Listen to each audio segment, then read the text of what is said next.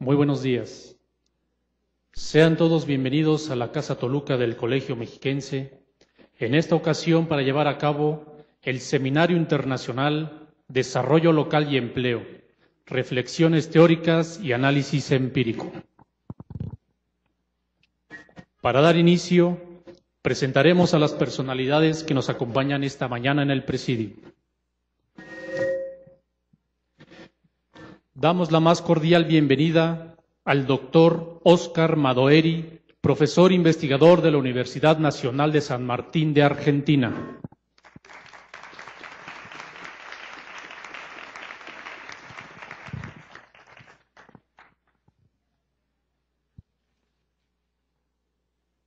Damos la bienvenida al maestro José Luis Furlán, director general del Centro Latinoamericano de Estudios Locales de Argentina.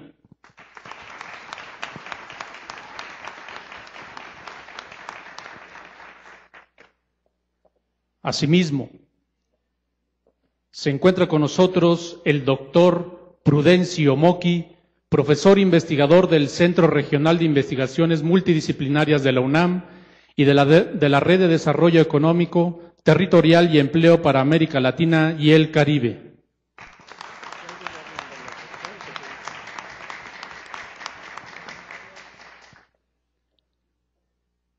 Es un gusto presentar a la doctora Cristina Girardo, profesora e investigadora del Colegio Mexiquense.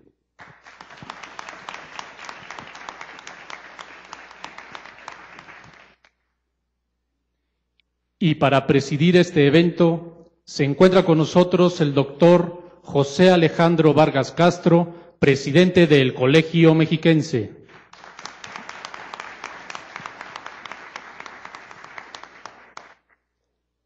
Saludamos al licenciado Armando López Salinas, director general de Previsión Social de la Secretaría del Trabajo, en representación del secretario del Trabajo del Gobierno del Estado de México.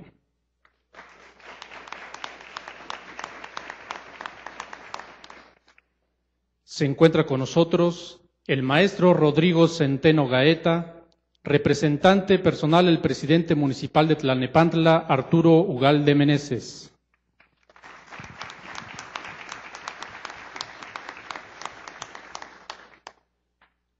Damos la bienvenida a expresidentes del Colegio Mexiquense, miembros de la comunidad académica, servidores públicos municipales y estatales, así como a los medios de comunicación.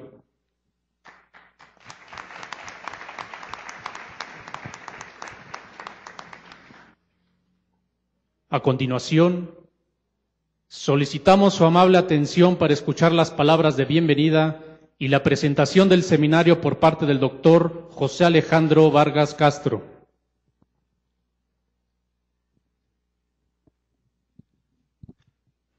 Muchísimas gracias, muy buenos días, tengan todos ustedes. Sean bienvenidos a Casa Toluca del Colegio Mexiquense. Damos también, por supuesto, la bienvenida al señor presidente municipal de Nextlalpan. Señor presidente, sea usted bienvenido.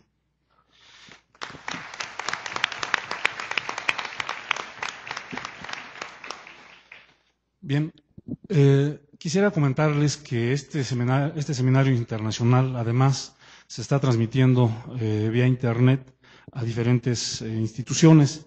Entre ellas yo quisiera mencionar a las siguientes. Eh, la Universidad de Texas en Austin, la Universidad de Texas en Dallas, el Departamento de Estudios México-Estados Unidos de la Universidad de Arizona, la Universidad Autónoma del Estado de Hidalgo, la Universidad Veracruzana, la Universidad Intercultural del Estado de Guerrero y el Centro eh, de Estudios Latinoamericanos de Desarrollo Local. Eh, son, cuyo director general se encuentra aquí con nosotros, son instituciones a las que eh, a través de Internet enviamos un, afectuoso saludo y por supuesto que agradecemos la presencia de, de todos ustedes. Eh, encuentro por aquí a compañeros de la Universidad Autónoma del Estado de México, del Instituto de Administración Pública del Estado de México, también de varios municipios, de varias instituciones, perdón, de varias dependencias del gobierno estatal. Sean todos ustedes bienvenidos. El día de hoy es un gusto tenerlos aquí porque, eh, como ustedes sabrán, lo hemos dicho ya muchas veces, seguimos celebrando los 25 años de vida del Colegio Mexiquense y lo hacemos con actos académicos de relevancia. Entonces, este seminario sobre desarrollo local y empleo tiene precisamente ese matiz. Pero además, eh, es importante señalar que el enfoque del desarrollo local es una de las tendencias que se observan de manera reciente y cada vez con mayor presencia, con mayor trascendencia en el ámbito académico y también, afortunadamente, en el ámbito de lo público. Sobre este tema, sobre este gran tema, eh, consideramos que es importante ir generando pues algunos, algunas convenciones, algunos elementos que nos vayan dando orden, que vayan sistematizando la, eh, eh, el abordaje eh, teórico y empírico de este, de este gran tema. En este sentido, bueno, pues eh, es relevante eh, la temática que hoy abordamos por estas, por estas razones. Lo es también porque precisamente este tema del desarrollo local empieza a eclosionar de diferentes formas en diferentes áreas del mundo, de manera particular en nuestro continente. Y en, Argentina se ha tenido un avance muy importante, un, avance sustancial al respecto. Y en este sentido, bueno, pues es un gusto tener con nosotros al doctor Oscar Madueri y al maestro José Luis Furlan, que nos estarán explicando precisamente eh, de qué manera el desarrollo local y el empleo como factor del desarrollo local se están analizando en aquellas latitudes. También es importante señalar que la movilización de actores colectivos es importante en este sentido, para la difusión del enfoque, para su entendimiento. Y en este sentido, bueno, pues la, red eh, sobre desarrollo local para América Latina y el Caribe, que representa el doctor Prudencio Moqui, pues también tiene un papel importante y escucharemos qué es lo que se está haciendo para el capítulo México en este sentido. Quiero eh, señalar que al igual que los encuentros académicos internacionales anteriores, ustedes recordarán, ya llevamos eh, seis, este es el séptimo, eh, han sido organizados por los investigadores del Colegio Mexiquense, por quienes forman parte de los seminarios académicos, y este pues no es la excepción. Eh, el Seminario de Instituciones y Desarrollo eh, tiene dentro de sus líneas una, tiene eh, dentro de sus líneas el tema del desarrollo de las instituciones y en este sentido es que el tema que hoy abordamos se inscribe en este sentido. En este, por estas razones quiero hacer patente mi agradecimiento y reconocimiento a la doctora Cristina Girardo, que forma parte de este de este seminario académico de investigación y que es quien ha estado impulsando precisamente eh, la organización de este, de este evento. Muy bien, pues yo quisiera comentarles que eh, las perspectivas que tenemos en este, en este seminario internacional eh, podemos agruparlas en tres grandes rubros. Primero, quisiéramos señalar que esperamos ampliar la visión y perspectivas que existen sobre el desarrollo local como enfoque y eh, sobre el empleo como un factor precisamente del desarrollo local.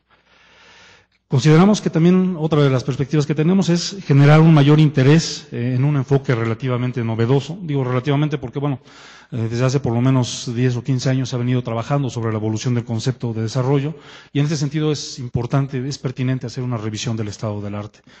Esa es otra de nuestras perspectivas, generar un mayor interés en este enfoque. Y eh, finalmente, bueno, pues es también establecer vínculos, establecer vínculos entre instituciones académicas, pero también entre estas instituciones académicas y quienes están viviendo día a día la responsabilidad de conducir un municipio, de atender las necesidades de la gente. Y en este sentido, bueno, consideramos que podemos unir esfuerzos y realizar cosas interesantes en beneficio de la sociedad. Son las perspectivas que tenemos para este encuentro. Esperamos cumplirlas y esperamos que sea del agrado y del interés de, todos ustedes. Solamente quiero eh, finalizar mi intervención, primera intervención, porque después tengo una, una ponencia, eh, deseando que efectivamente las eh, presentaciones que aquí se hagan sean de su interés, que podamos reflexionar sobre ellas y sobre todo a partir de esto generar vínculos que nos permitan avanzar en el conocimiento, en la sistematización del desarrollo local como disciplina, como área del conocimiento y en este sentido que redunde en beneficio de nuestra sociedad. Sean ustedes bienvenidos. Muchas gracias.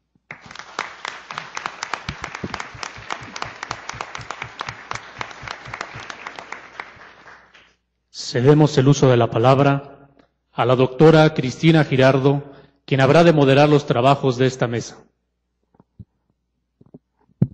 Muchas gracias. Eh, buenos días a todos y nuevamente bienvenidos y muchas gracias por acompañarnos en este seminario.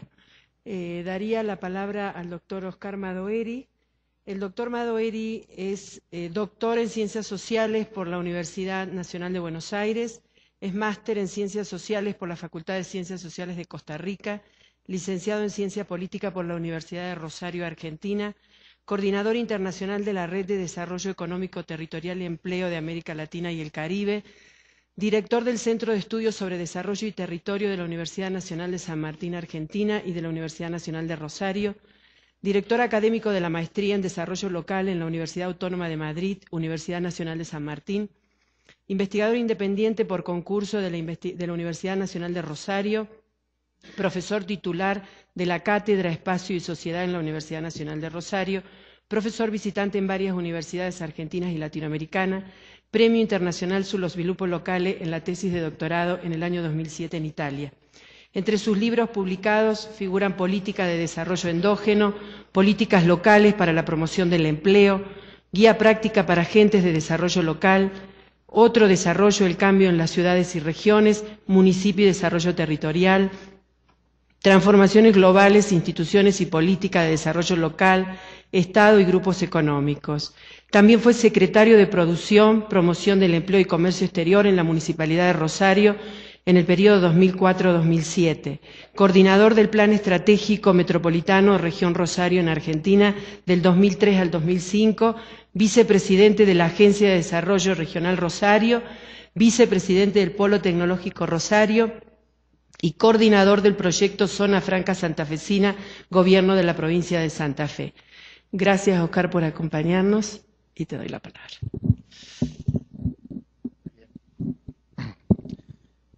Muy bien, muchísimas gracias por esta amable invitación que, que, el Colegio Mexiquense me ha hecho y agradezco a todos ustedes en la persona de don Alejandro.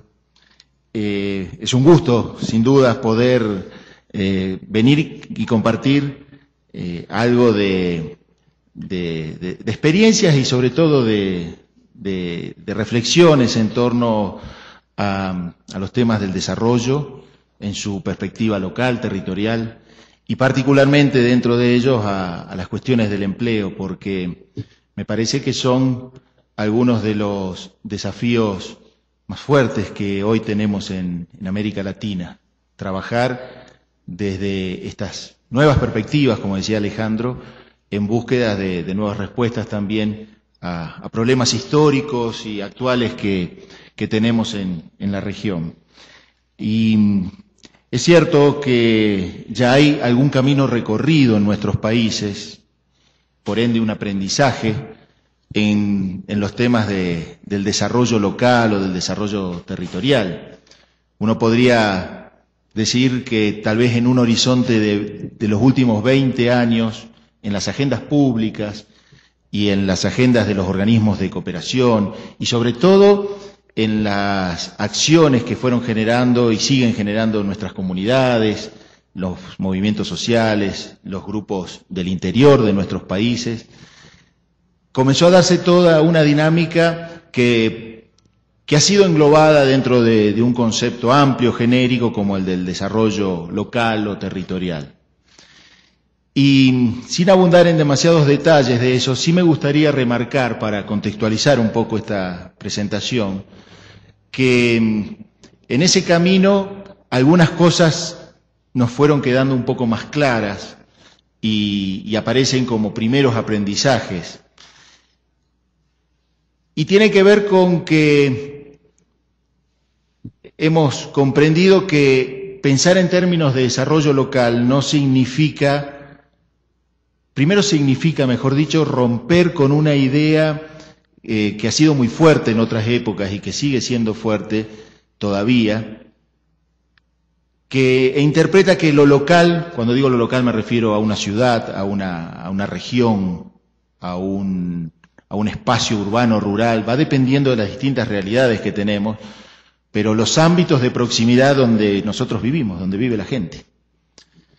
Que esos ámbitos no son meros recipientes de, lógicas o de dinámicas que vienen dado desde lo central. Hubo una interpretación durante mucho tiempo que lo que hay que hacer en nuestras sociedades era construir estados centrales fuertes y, de esa manera los ámbitos locales no son más que meros reproductores de lo que ocurre a nivel central. De una u otra manera sería pensar que las respuestas a los temas del desarrollo, es decir, a los problemas de producción, de empleo, de bienestar social de la población, de salud, de educación, etcétera, son solo nacionales. Hubo una primera oleada en los procesos de desarrollo local, décadas atrás, que coincidieron con procesos históricos de fuerte debilitamiento de los estados nacionales en América Latina.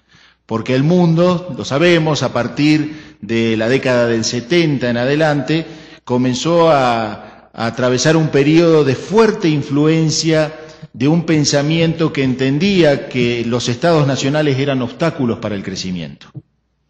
Que entonces lo que había que hacer era privatizar, desregular, eh, quitar del camino a la presencia, a la interferencia nociva que generan los estados nacionales para que las fuerzas del mercado puedan desplegarse más libremente. Y esa es la respuesta que podemos tener para mejorar la condición de vida y el desarrollo de nuestras sociedades. Esto fue popularizado bajo el concepto de la teoría del derrame, en el sentido de que si dejamos a nuestras sociedades libradas a las inversiones y a las fuerzas que dinamizan los mercados, ese proceso de crecimiento, tarde o temprano, va a ir este, reflejándose en mejores condiciones de vida de nuestra población. Con lo cual, la figura del Estado-Nación perdía sentido. Y entonces se comenzó a generar una nueva idea reflejada en esa relación global local, en la cual comenzamos a interpretar mayoritariamente, pero no exclusivamente, se comenzó a interpretar que las fuerzas dinámicas para el desarrollo eran globales y que lo local lo que tenía que hacer era encontrar sus respuestas de manera particular, de manera exclusiva e incluso de manera aislada, en algún sentido. Entonces comenzó a tomar fuerza una idea de lo local como isla. Así como la primera idea de lo local como un mero recipiente de lógicas nacionales había caído en desuso, comenzó ahora a cobrar fuerza una idea de que todas las respuestas que necesitamos darle a nuestras sociedades, a los habitantes y los ciudadanos de Toluca, por ejemplo, están dadas localmente. Y de lo que se trata es de poner a este territorio en sintonía con las fuerzas globales que dominan el momento. Con lo cual, ¿qué hacemos desde nuestros territorios para atraer inversiones, para aumentar nuestras exportaciones, para que vengan turistas a visitarnos? Una lógica de relación global-local sin necesidad de pasar por la instancia intermedia. Esta segunda corriente del desarrollo local también comenzó a mostrar rápidamente sus limitaciones, porque está claro que no es posible pensar en términos de sociedades tan complejas y momentos históricos tan particulares como los que estamos viviendo, de que todas las respuestas a los problemas del desarrollo los podemos encontrar localmente. Y esto coincide con un proceso que no lleva más de 10 años en América Latina, de recuperación del rol de los estados centrales en los procesos de desarrollo de nuestros países. Así como la década del 90 fue una década de exacerbación, podríamos decir, de las ideas neoliberales, por ende de prescindencia de lo público, consenso de Washington como máximo ejemplo en ese sentido, el siglo XXI arranca con una nueva mirada que busca reposicionar al Estado como un actor protagónico en los procesos de desarrollo. Y esto incide también sobre nuestras interpretaciones del desarrollo local, porque nos lleva a comprender que no podemos caer en ninguno de los dos extremos anteriores, ni de pensar que en los ámbitos locales, nuestras ciudades, lo único que hacemos es obedecer instrucciones y hacer lo que nos viene dado desde otro lado, ni tampoco creer que en lo local vamos a re resolver todos los problemas que se le presentan a nuestra sociedad, a nuestra ciudad, a nuestro territorio. Sino de lo que se trata es de una búsqueda más compleja, pero a su vez mucho más rica, de articular de mejor manera entre la instancia del Estado central, de los estados intermedios, México, al igual que Argentina, es un país federal, con lo cual tenemos el nivel intermedio, estadual, provincial en el caso nuestro, y los estados locales. Con lo cual pasamos a tener una idea de que hacer desarrollo local es, un es una búsqueda de articulación horizontal entre la ciudad, el Estado y el gobierno federal. La ciudad, la provincia y el gobierno nacional en el caso de los términos como lo manejamos en mi país. Es un desafío de articulación que está diciendo varias cosas. Para hacer desarrollo, y reitero, desarrollo en términos de mejora la calidad de vida de nuestra población, de nuestra gente, necesitamos articular horizontalmente, necesitamos buscar maneras de coordinar políticas y acciones entre las instancias de la estructura de gobierno. Pero a su vez también necesitamos de una articulación horizontal, es decir, de comprender que el desafío de desarrollo no es solo público, sino que también involucra a la sociedad a través de sus diferentes representaciones, sus movimientos sociales, sus organizaciones de la sociedad civil, sus sindicatos, sus organizaciones empresariales, sus ámbitos académicos. Es decir, la diversidad de espacios donde las personas nos movilizamos y nos este, relacionamos cotidianamente en el ámbito de vida común. Es decir, el desafío del desarrollo es un desafío que también involucra a los actores privados, a los actores sociales, académicos, junto con los actores públicos.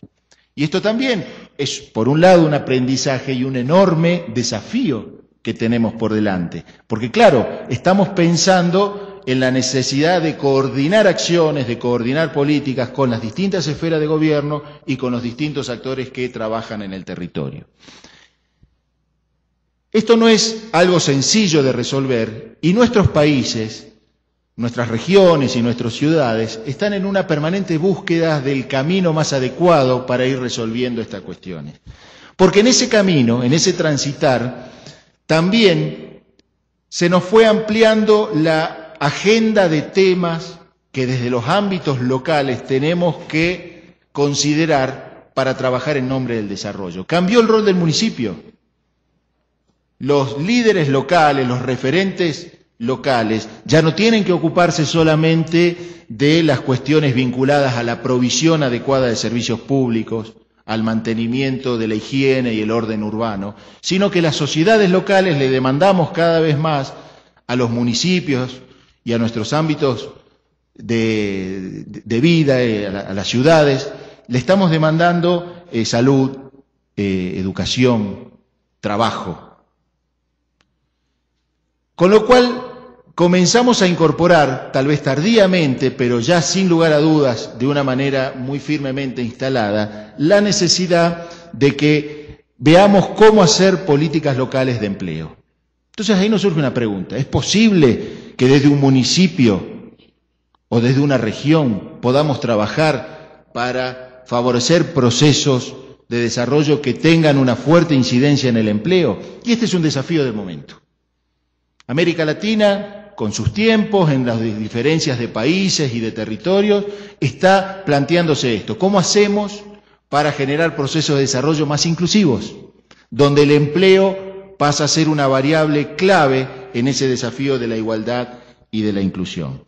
Entonces, una primera reflexión que tiene que ver con cómo estamos hoy en términos de los debates y los desafíos que el desarrollo local nos está planteando. Muy bien, si vamos a considerar entonces la cuestión de, de cómo trabajar en desarrollo y empleo desde lo local, me gustaría hacer una muy breve con, textualización de algunos datos que la región está mostrando en este sentido. Si ustedes se fijan, estos datos son tomados de organismos internacionales, básicamente la CEPAL, que suele ser el organismo latinoamericano que nos provee de estadísticas más, más adecuadas para analizar la fotografía de cómo está la región. En este primero podemos ver que efectivamente la región está en un proceso de eh, de crecimiento del empleo. La línea celeste descendiente nos está marcando una tendencia en, los últimos años al descenso en la tasa de desempleo regional. Es decir, la región está generando empleo, está creciendo económicamente y está generando empleo. En un comparativo con, con tres momentos históricos del 90, el 2002 y una más actual, del 2008, también nos está marcando que en nuestros países el porcentaje de la población eh, que tiene empleo y es pobre va disminuyendo. Es decir, aquí hay una interesante relación para tener en consideración. Tener empleo es una posibilidad de salir de la pobreza, pero no necesariamente es la garantía de salir de la pobreza para la totalidad de la población. Es un proceso que se está dando donde la tendencia está marcando que el porcentaje de la población de nuestras sociedades que es pobre va disminuyendo en la medida que va adquiriendo empleo. Pero reitero, no siempre el empleo es el que resuelve el problema de la pobreza. Después, si nos da el tiempo, vamos a hacer una reflexión al respecto.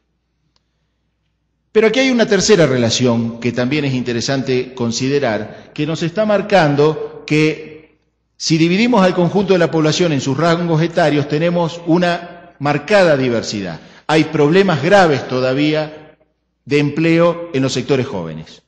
Si hay un núcleo duro para resolver el problema del empleo en nuestras sociedades, están los jóvenes. Entre 18 y 29 años tenemos ahí un problema mayor, ¿verdad? Nos cuesta en los procesos que venimos realizando en la región resolver de mejor manera eh, el problema de- de- del empleo en los jóvenes, más que en otros rangos etarios. Pero a su vez hay un problema de informalidad, es decir, que la calidad del empleo que estamos generando no necesariamente es el adecuado, es el mejor, y ese problema de informalidad, que en algunos casos es directamente ilegalidad en las relaciones de empleo, en las relaciones laborales, se da muy fuertemente en los jóvenes, disminuye en otros rangos etarios, pero comienza a aumentar en la medida que la población envejece. Es decir, que es un problema que atraviesa más a las distintas capas etarias de la sociedad y nos está marcando un desafío que tenemos por delante en cuanto a nuestras acciones por el empleo. Y un problema que siempre es necesario remarcar para no analizar la cuestión del empleo exclusivamente en el marco de las relaciones laborales, sino en el contexto social general de nuestras sociedades, y que es el problema de la desigualdad. América Latina es una parte muy desigual, la más desigual del mundo. Entonces, esta gráfica nos está marcando la enorme diferencia en el poder adquisitivo entre el 20% más rico de la población contra el 20% más pobre. Fíjense que la quinta parte más rica de nuestros países concentra casi el 60% de la riqueza de nuestros países y el 20% más pobre apenas el 2,9 menos del 3%. Y esto nos ubica, como aparece allí, en el marco de ser, como decía recién, la región más desigual del mundo. Entonces aquí eh, está planteada entonces el desafío de que hacer política de empleo, política local de empleo, es decir, pensar en el desarrollo con inclusión y con inclusión laboral desde nuestros territorios, es un desafío muy fuerte porque nos tenemos por delante atender no solo la cuestión de generar oportunidades de trabajo, sino de generar que procesos de inclusión social donde el empleo sea una variable cualitativa fuerte, de atender problemas de informalidad y de ilegalidad, como decía en algún momento en el empleo, de atender a grupos etarios particulares que se comportan como núcleos duros en la problemática del empleo, como son los jóvenes, es decir, una agenda muy amplia de cuestiones. Y allí aparecen algunos desafíos y a mí me interesaría, en todo caso, dejar planteado alguna reflexión al respecto. Me parece que el desafío mayor que tenemos por delante es de dos dimensiones. Por un lado, obviamente el de generar dinámicas económicas en nuestras sociedades para que las oportunidades laborales sean mayores. Es cierto que hay más oportunidades laborales cuando las sociedades crecen económicamente. El problema es creer que solo con crecimiento económico resolvemos esa enorme agenda social y laboral que tenemos por delante. Porque ahí podríamos tener y caer nuevamente en la respuesta donde el mercado es el gran solucionador de los problemas sociales que tiene la sociedad. Si creemos eso, solo basta crecer económicamente. Sin embargo, me atrevo a pensar que la región ya pensó en esos caminos y las respuestas no fueron satisfactorias, con lo cual al crecimiento económico hay que darle un plus, hay que agregarle algo más. Y ese más que hay que agregarle es una concepción, yo diría, de reconstrucción de los lazos sociales fundamentales de una sociedad. Las sociedades latinoamericanas, y aquí permítanme pensar más en argentino, y no sé cuán parecido o diferente puede ser con la historia de ustedes, de México.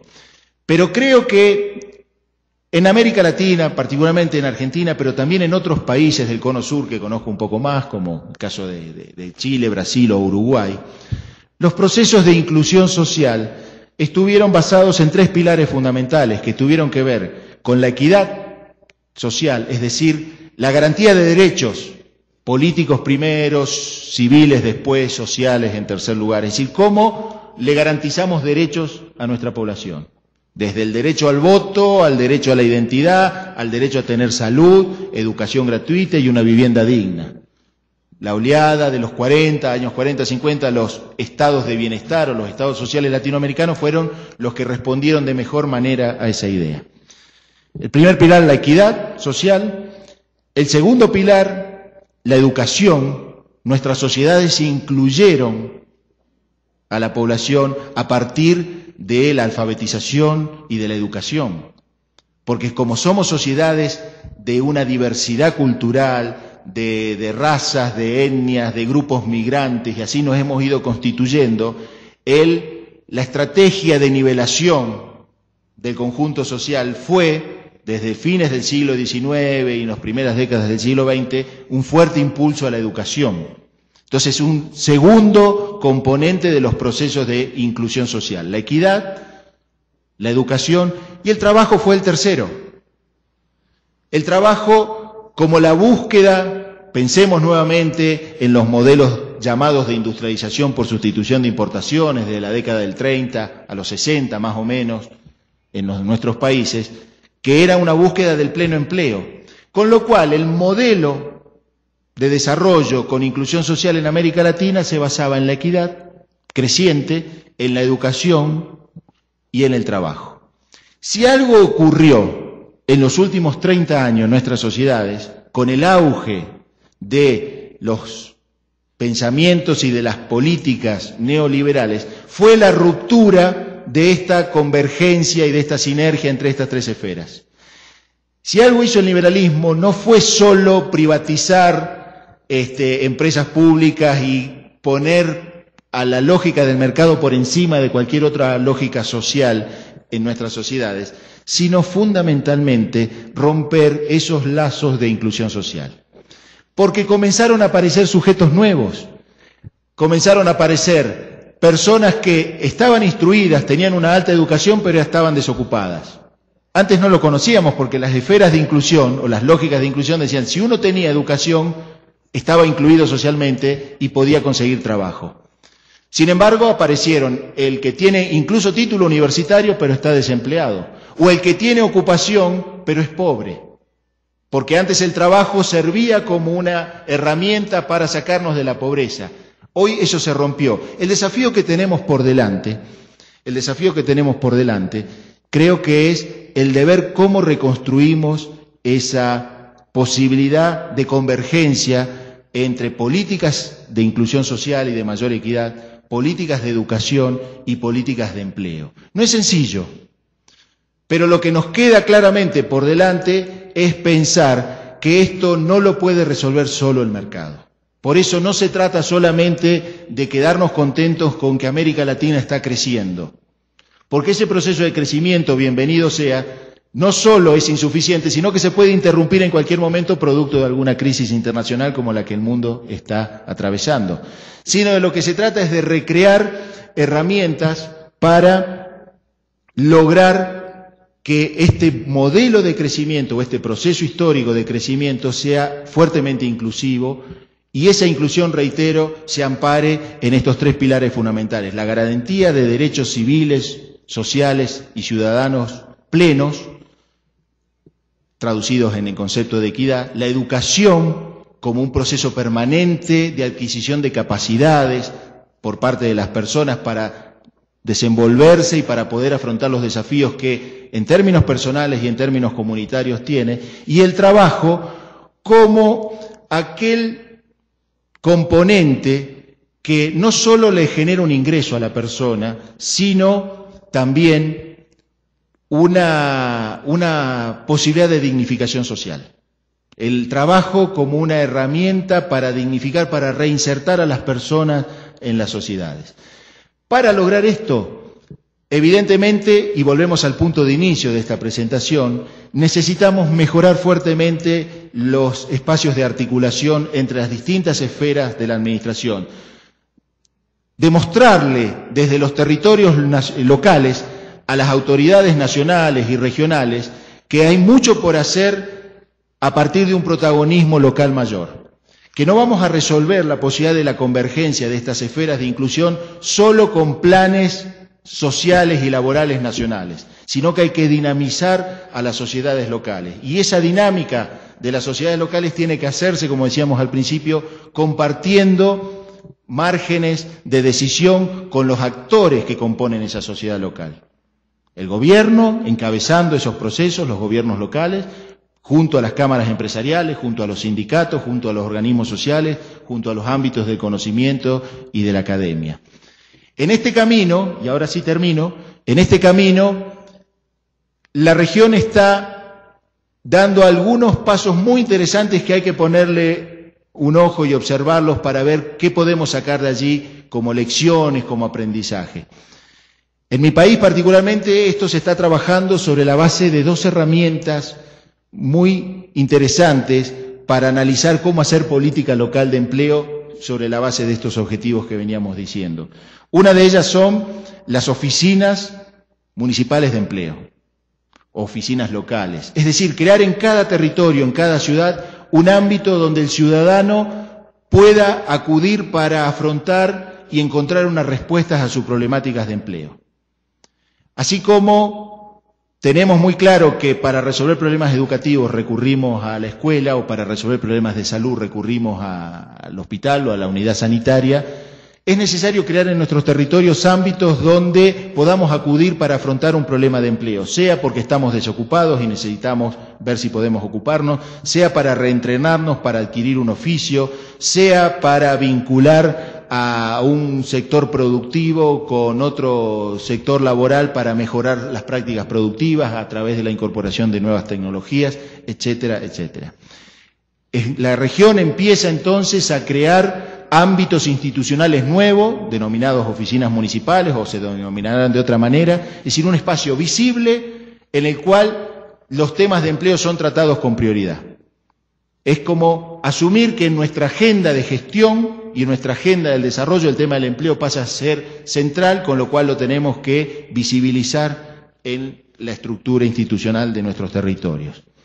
Y la segunda herramienta complementaria con esta son lo que se han dado en llamar los acuerdos territoriales de empleo o los pactos locales por el trabajo o el empleo, como lo han llamado en otros países como en España, por ejemplo. De lo que se trata es justamente de un ámbito de negociación permanente entre estos actores diversos para discutir y ver a qué acuerdos podemos llegar para afrontar los desafíos del empleo. Es tener muy en claro y reconocer lo que decíamos antes, de que el desafío del trabajo y de la inclusión social no lo puede hacer solo el Estado ni solo el mercado por separado, sino que se trata de una convergencia de actores diversos para afrontar esto. Por supuesto que esa convergencia no es automática, que los consensos no se obtienen por el solo hecho de sentarnos en una mesa común, sino que eso implica mucha negociación, mucha disputa, mucha posibilidad de que aparezca el conflicto social que siempre existe en nuestras sociedades, pero el reconocimiento de que a partir de generar espacios de diálogo y de diálogo creciente es como desde lo local podemos comenzar a este, transitar un camino para hacernos cargo de este desafío que tenemos por delante en términos de empleo.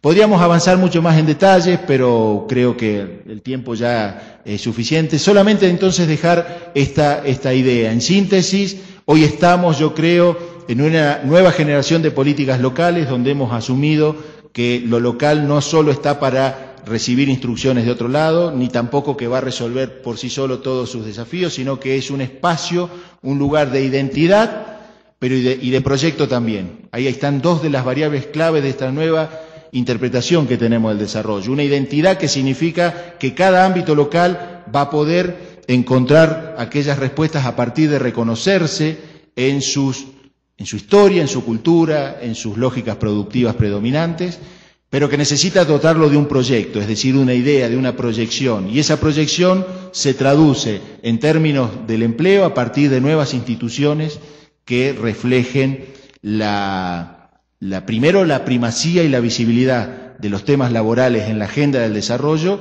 y segundo que eso puede ser logrado a partir de una articulación creciente y una dinámica de, de acuerdos este, crecientes a partir de un proyecto común entre los actores diversos del territorio. Bueno, muchas gracias por su atención.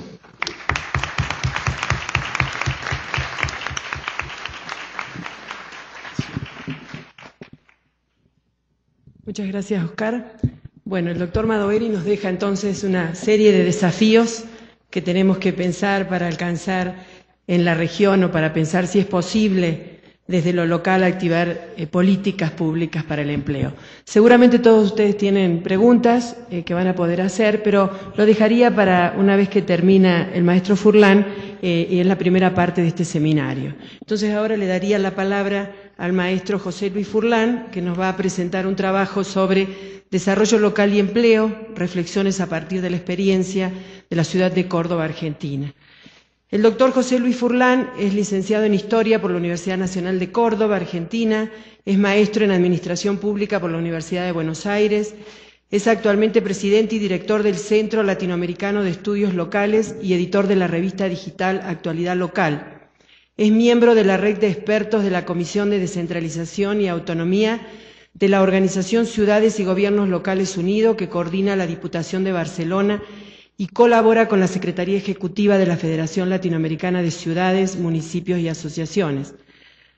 Ha participado en proyectos de asistencia técnica para el gobierno y el desarrollo local en varios países de América Latina y también de la República de Mozambique. Igualmente ha coordinado y ejercido la docencia en distintos programas de formación dictados en España y América Latina. Es tutor virtual en plataforma de liderazgo local del programa Urbat 3 y del curso online sobre descentralización y gobernabilidad local. Es autor de publicaciones sobre temas relacionados con la descentralización, el desarrollo y el gobierno local. Bienvenido, José Luis. Muchas gracias, Cristina. Eh, buenos días a todas y todos. Para mí es eh, un honor estar en este espacio, por lo cual agradezco infinitamente al Colegio Mexiquense y a su presidente el haberme invitado a acompañarlos y poder compartir esta jornada de reflexión sobre la teoría y la práctica del desarrollo local y sobre todo del desarrollo local vinculado a la generación de empleo. Eh, yo quiero compartir con ustedes en este espacio unas reflexiones sobre cómo se da este proceso o cómo se, está dando este proceso en mi ciudad, la ciudad de Córdoba.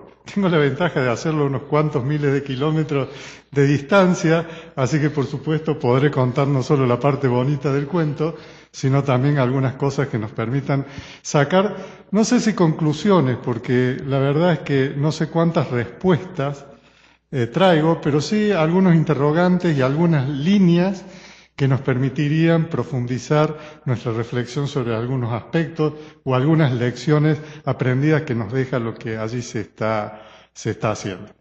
Por supuesto, eh,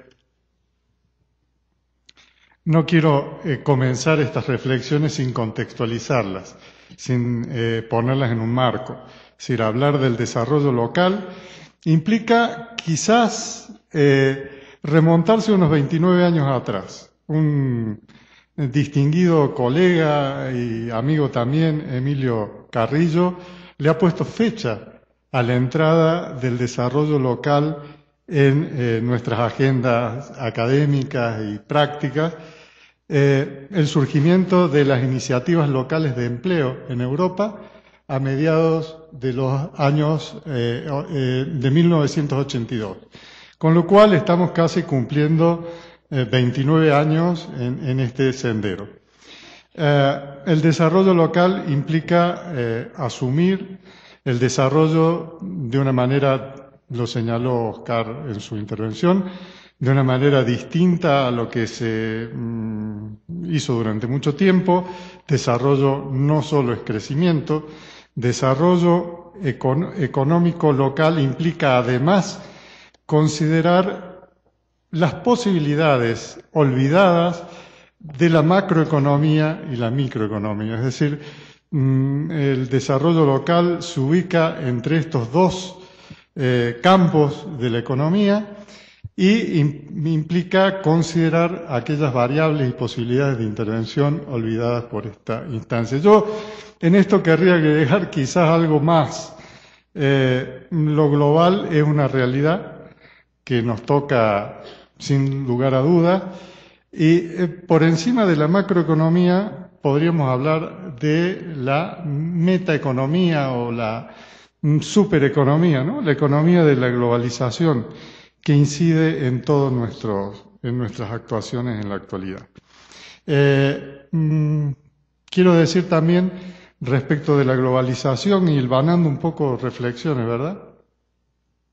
Que el desarrollo local que tiene estos 29 años, que implica una nueva manera de entrar en la cuestión del desarrollo y del desarrollo económico local, el de, perdón, del desarrollo económico, tiene que ver con el proceso de globalización y sobre todo con los procesos de crisis y de reestructuración que la globalización ha empujado. Este proceso que mm, se dio desde hace mucho tiempo, pero que cobró fuerza a partir de la década de los 70, implicó reestructuraciones profundas y crisis que debieron ser resueltas. El desarrollo local aparece como estas iniciativas locales de empleo que le mencionaba eh, a, mediados de 1982, vinculados a los problemas generados por la globalización en muchos territorios. Subrayo el tema de problemas porque sí, la globalización efectivamente ha sido eh, un mundo de oportunidades, pero tan pero ese mundo de oportunidades no lo ha sido para todos los territorios por igual.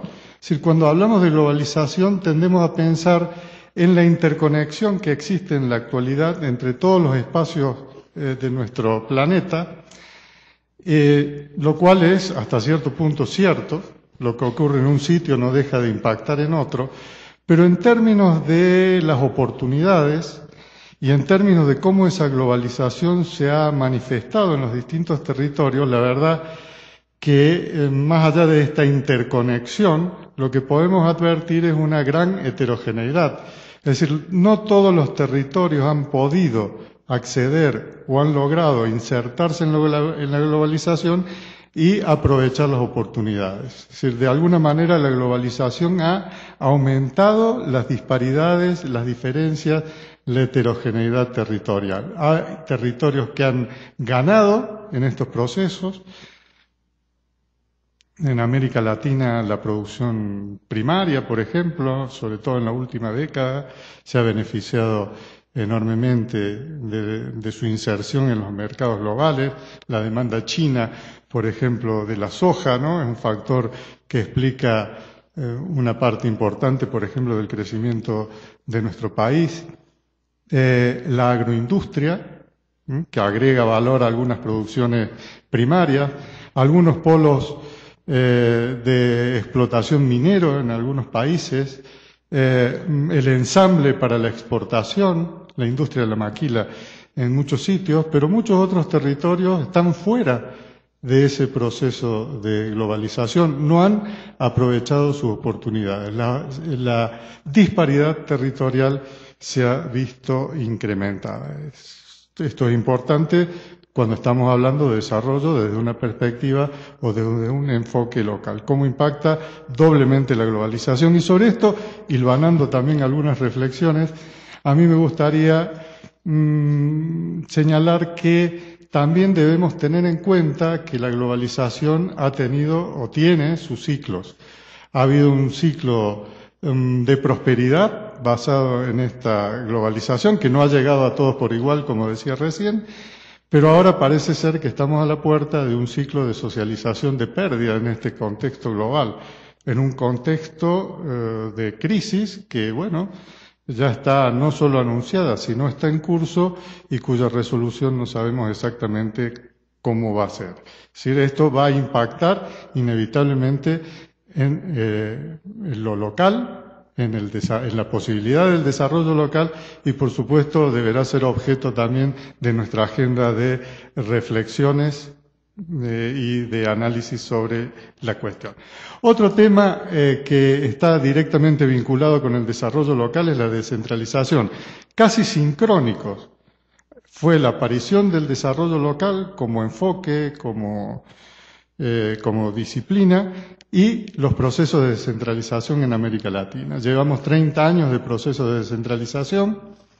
Esos procesos de descentralización con sus más y sus menos en los distintos países ha sido diferente, pero en conjunto para la región ha significado más poder local, es decir, la democracia local es una realidad en prácticamente todos los países. Digo democracia en el sentido de que las autoridades locales son electas por el voto popular una democracia, más allá de la democracia representativa, ha tenido avances diversos en distintos países. Pero en este sentido, sí eh, se ha dado, a principios de este ciclo, solo tres países elegían sus autoridades en la actualidad, locales, por el voto eh, popular, en la actualidad la totalidad lo hace, han significado más recursos, si eh, lo miráramos, creo que no viene al caso ahora abusar de los números, pero ha habido un incremento importante de la participación de los niveles subnacionales en el gasto público en toda la región, como de un once y tantos a un 18%, con las disparidades propias de, de los países, y también ha significado una agenda mucho más amplia de temas a abordar y a resolver. ¿Cómo se enlaza este proceso de descentralización con el desarrollo local? Bueno, con una posibilidad más efectiva de intervención de los gobiernos locales, de los gobiernos municipales, en las políticas relacionadas con el desarrollo. Particularmente comentaremos luego la de empleo. Eh, otra cosa que es importante y que tenemos que asociarla con esta reflexión sobre el desarrollo local es la ampliación de nuestro concepto de desarrollo. Durante mucho tiempo el desarrollo fue crecimiento económico, en la actualidad ya hablamos de otras cosas cuando hablamos de desarrollo. Hablamos de desarrollo humano y además incorporamos una serie de variables que van más allá de lo económico. Variables políticas, la democracia es también desarrollo, variables sociales, la inclusión y la cohesión social es también desarrollo, variables ambientales, la sostenibilidad es también desarrollo, eh, variables culturales, la eh, identidad de cada pueblo, de cada lugar es también desarrollo. Por lo tanto, hablamos de un, manejamos un concepto de desarrollo más amplio, el que se mide es el desarrollo humano, es una nueva manera de medir, no solo el ingreso per cápita, sino oportunidades de educación, de salud, de una buena calidad de vida en general. Quizás falte afinar estos instrumentos de medición, pero cuando hablamos de desarrollo estamos hablando de esto más complejo que lo económico. Y eh, algo que está mucho más directamente vinculado con lo local, que es la aparición del territorio como un elemento importante vinculado al desarrollo. Lo señalaba Oscar en su exposición. En un principio el territorio era solamente el ámbito nacional y las políticas eran pensadas como si, los el ámbito nacional fuera una unidad, una cosa homogénea. En la actualidad el territorio eh, habla de las diferencias que existen desde el punto de vista espacial, desde el punto de vista social, y también nos lleva a reflexionar sobre la necesidad de adecuar nuestras políticas a esas particularidades y singularidades de los territorios. En el tema específico del gobierno, eh, perdón, del desarrollo económico, se podría decir que no hay empresas, por ejemplo, competitivas si no es en territorios competitivos. ¿Mm? La competitividad no es algo de cada una de las empresas o de cada uno de los actores económicos, sino que es algo sistémico, algo que los trasciende. Y desde el punto de vista de las tareas del desarrollo económico local, el acondicionamiento del territorio es la más importante. ¿Qué quiere decir acondicionar el territorio para el desarrollo? Dotarlo de todos aquellos elementos tangibles e intangibles que se necesitan para avanzar en estos ámbitos que hemos mencionado recién, desde el crecimiento hasta la identidad cultural. Eh, en esto creo que es importante señalar que eh, estos procesos en los territorios se ponen en marcha y mm, obtienen resultados en la medida en que no solo el espacio geográfico, sino que se active la dinámica de los actores que participan de ese espacio. Es decir, el desarrollo económico, eh, las dinámicas territoriales están directamente vinculados a la actividad de los actores que forman parte de ese espacio. Y finalmente, algo, eh, digamos, otra coordenada, perdón, que debemos tener en, en consideración al analizar el desarrollo económico local, y lo vamos a retomar en el tema del empleo, es que en América Latina hay dos cuestiones que eh, singularizan eh, el escenario. Los ha mencionado eh, recién en su exposición, yo simplemente lo voy a mencionar. Desigualdad, la región más desigual del mundo, veíamos en sus, en sus transparencias los datos. El índice de Gini es la medida de la desigualdad, mientras países del norte de Europa, que son los más iguales, tienen un índice de 0,28, los países mejor posicionados en América Latina, como por ejemplo Uruguay, 0,45. Es decir, tenemos una desigualdad mucho mayor. Es un dato, una variable importante. Y por otro lado, los datos de pobreza. La pobreza es importante en América Latina, fue mucho más seria en la década de los 90, como resultado de las políticas neoliberales se llegó a un índice del 50% de la población y un poquito más, 53%. En esa situación en la actualidad es el 33%, pero más allá de estos datos relativos, son 200 millones de personas en toda nuestra geografía en esa, en esa situación. Bueno, este es un poco el contexto de nuestra reflexión sobre el eh, desarrollo local, desarrollo local y empleo. Eh, ¿Por qué actuar? ¿Por qué intervenir en el ámbito del empleo? ¿Por qué hay una relación entre desarrollo local y, empleo? Bueno, hay dos cuestiones importantes. si el mercado fuera perfecto y funcionara adecuadamente, habría un problema que no tendríamos. Es decir, tendríamos un problema menos, que es el de la desocupación.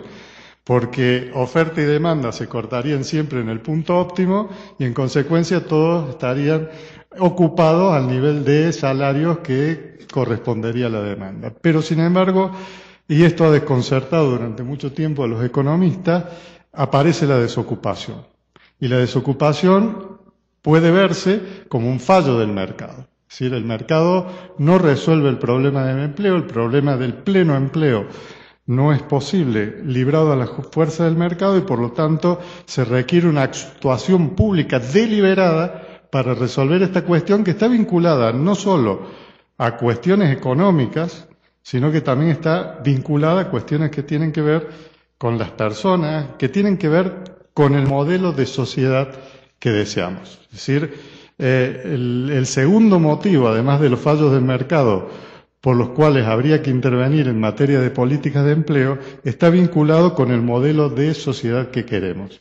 Y mm, en este caso, eh, intervenir en materia de empleo, mejorar las cuestiones de no solo desocupación, sino de calidad de, mm, del empleo, de calidad eh, de los salarios, de las prestaciones sociales que las personas reciben, tiene que ver con la inclusión y la cohesión social y tienen que ver incluso con fenómenos que van más allá y que todos conocemos. ¿no? La identidad de las personas tiene mucho que ver también con cuál es su situación en el mercado laboral. Estar desempleado, eh, estar empleado, en qué condiciones está, tiene que ver con llamémosle así, la felicidad de la vida o las oportunidades y las condiciones de bienestar de las que uno disfruta.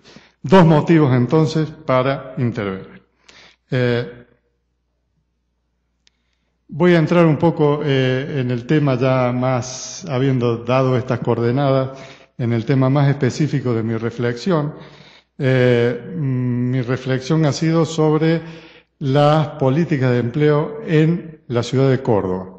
Entonces allí tienen ustedes en el mapa eh, ubicado a su izquierda la ubicación de la provincia de Córdoba, una de las provincias, la segunda más importante del país, y en el de la derecha un desarrollo de lo que es la ciudad de Córdoba y el Gran Córdoba. Eh, aquí, ¿por qué introducir esto del Gran Córdoba? Bueno, un problema de cómo están disponibles los datos los datos demográficos, socioeconómicos, del mercado laboral. El Instituto Nacional de Estadísticas y Censos hace eh, estudios por onda de cuál es la situación y no aísla a la ciudad de Córdoba, sino que toma toda la conurbación esta que se llama Gran Córdoba.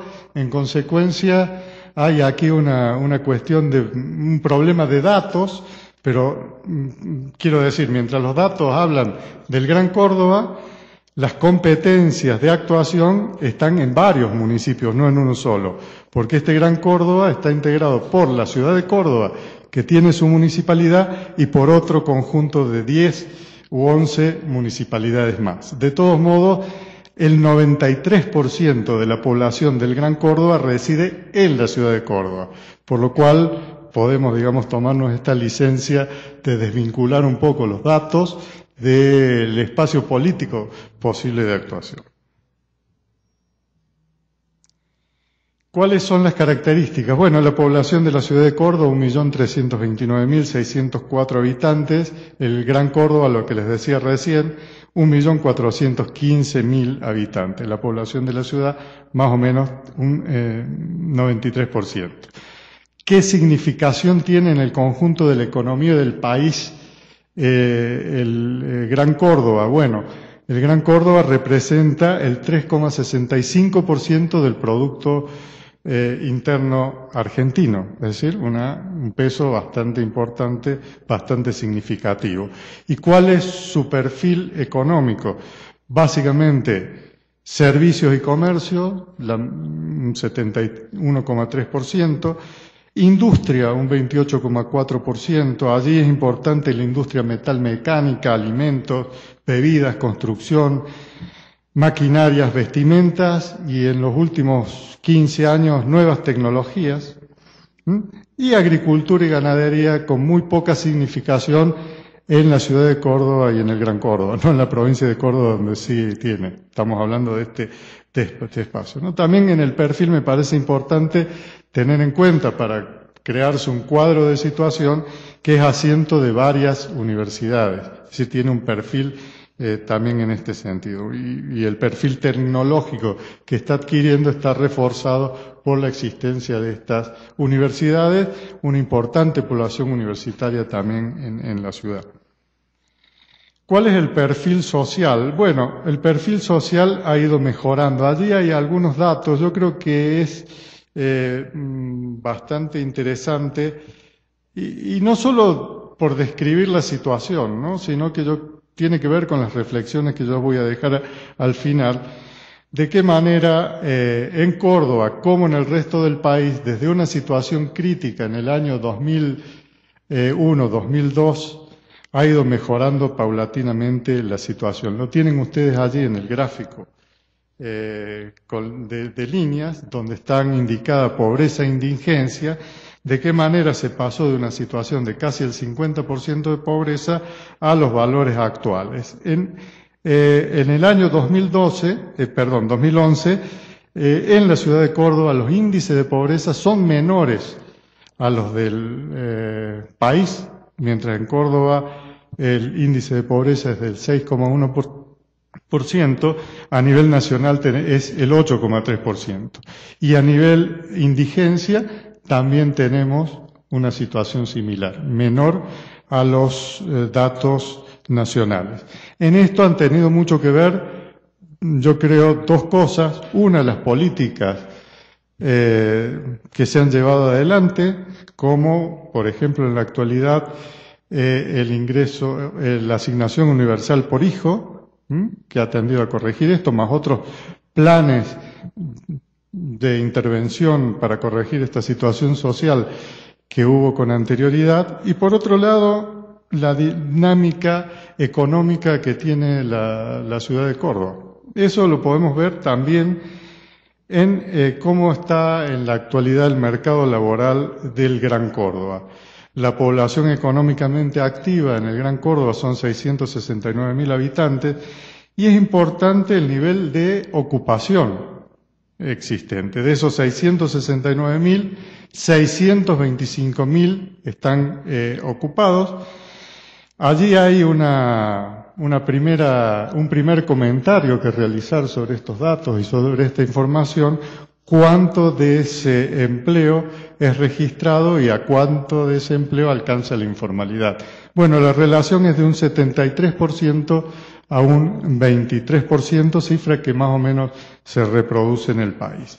Y dentro de la mm, población eh, ocupada y dentro del empleo registrado, es importante el dinamismo del sector privado. Si bien el empleo público tiene una importante cuota dentro de ese empleo eh, registrado, el sector privado es el que más eh, porcentaje eh, de población ocupada representa. Es importante señalar eh, la relevancia que tiene el autoempleo y también eh, que todo este empleo, si bien es registrado, no es de calidad. Es decir, hay problemas de niveles salariales, etcétera, importantes a tener en cuenta. En cuanto a la informalidad, un dato relevante es cuánto de la población joven se ve afectado por esto. No, no toda la informalidad le cae al, a las personas de igual manera. Los jóvenes entre 19 y 25 años representan el 40% de las personas que están en situación de informalidad.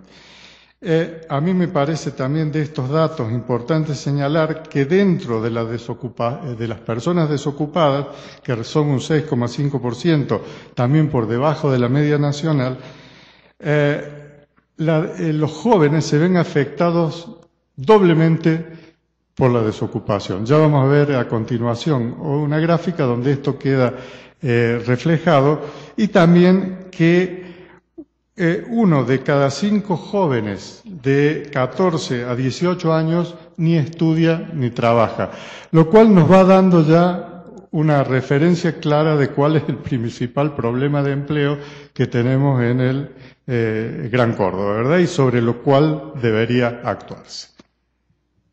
Veamos algunos datos más. Bueno, simplemente en el gráfico de la izquierda, la tasa de desocupación según tramo de edades muestra cómo eh, en el primer tramo el 20% está afectado, en el segundo como el 20% de los jóvenes ni estudian ni, eh, trabajan.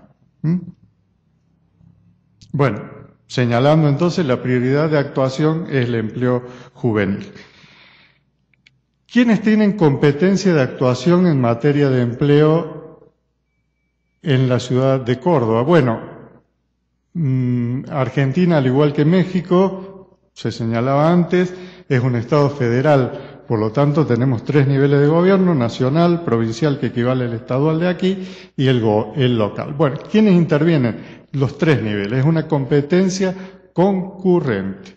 Por, eh, la nación tiene como competencias específicas la intervención en políticas vinculadas con las relaciones y condiciones individuales y colectivas de trabajo, el régimen general, el empleo, eh, perdón, legal, el empleo, la capacitación laboral y la seguridad local, las provincias, por medio del Pacto Federal de Empleo, intervienen en todo lo que tiene que ver con inspección del trabajo y en el caso de los municipios, los municipios, dependiendo de dónde, de cuál y de la legislación que los rija, porque en Argentina, si bien hay autonomía municipal, las condiciones de la autonomía municipal están legisladas en la constitución de cada provincia, en consecuencia tenemos tantos regímenes de autonomía municipal como provincias hay en el país, en general puede decirse que sus funciones son ejecutar programas delegados y promover el empleo eh, local.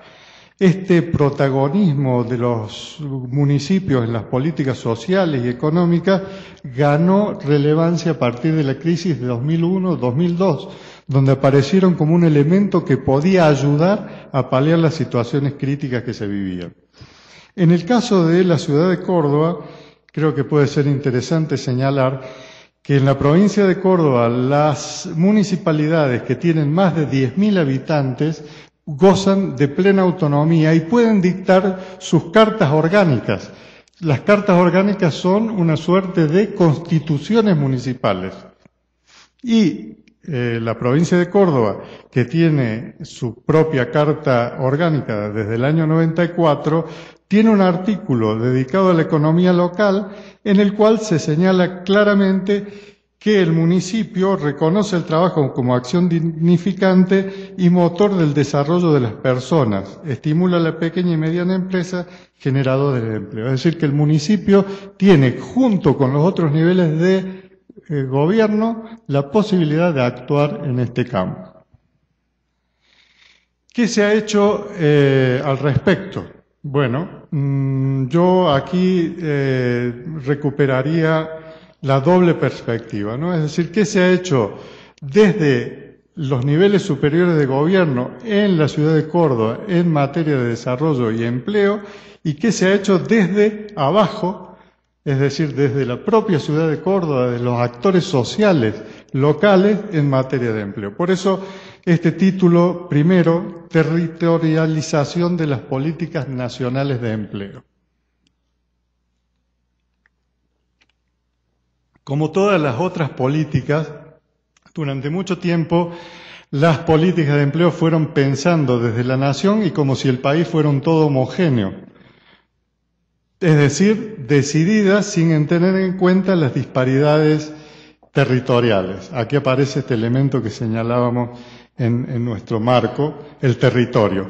Sin embargo, esas políticas se han mostrado insuficientes, es decir, la realidad es clara. la ciudad de Córdoba eh, no es lo mismo que otras ciudades de la propia provincia de Córdoba. La provincia de Córdoba difiere en su perfil económico, social, laboral de otras y por lo tanto el territorio empezó a cobrar significación y peso. El Ministerio de, de Trabajo, Empleo y Seguridad Social en un principio lo que hizo fue desconcentrar su actividad y creó gerencias de empleo. Las gerencias de empleo fueron un primer intento de aproximar las eh, políticas de empleo al territorio.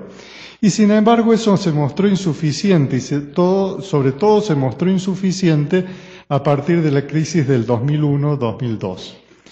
Eh, así es que en el año 2005, Oscar Madueri lo comentaba recién, inició una política de eh, instalación en todo el territorio nacional de oficinas municipales de empleo, la creación de una red nacional de oficinas de empleo.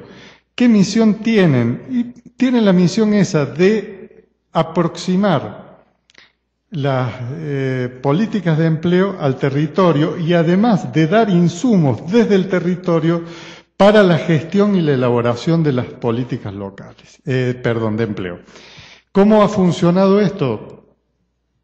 La Nación ha promovido la instalación de estas oficinas de empleo, ha, dado apoyo en materia de equipamiento informático, sobre todo software, y le has dado apoyo y capacitación para que funcione. Mientras los municipios han dotado de los espacios físicos necesarios para el funcionamiento de estas oficinas, los recursos eh, humanos y además ha garantizado su funcionamiento. ¿Cuál es la función que tienen? La función de estas oficinas municipales de empleo básicamente de intermediación laboral, de brindar información y orientación para el empleo, pero también en muchos casos se han creado juntas eh, locales de empleo que son un espacio de articulación de todos los actores vinculados a la problemática del desarrollo económico y el empleo en el territorio municipal. Eh, en la actualidad, claro, también estas oficinas de empleo son el canal por el cual circulan eh, las políticas nacionales que se llevan adelante en materia de empleo para jóvenes. En la actualidad el programa más importante es el de jóvenes con más y mejor trabajo. No sé si vale la pena entrar en detalle o si tenemos tiempo para hacerlo, pero bueno, las oficinas de empleo son la puerta de entrada para los jóvenes a este programa, tanto en información como en el momento que se les selecciona y demás. Eh, en Córdoba, ¿qué se hizo en este ámbito, en la ciudad de Córdoba? Eh, entraron en, un- en la municipalidad de Córdoba, entró en un primer momento en el programa, se crearon nueve oficinas de empleo, porque la ciudad de Córdoba también está desconcentrada, tiene distintas, se llaman centros de participación comunitaria, en cada uno de ellos se instaló una oficina, en la actualidad solo subsisten dos y funcionan con, con problemas. Se estarán ustedes preguntando qué es lo que ha pasado allí, es decir, por qué esta territorialización de las políticas nacionales de empleo no ha funcionado. Bueno, dejamos la pregunta para intentar dar una, respuesta a nuestras conclusiones.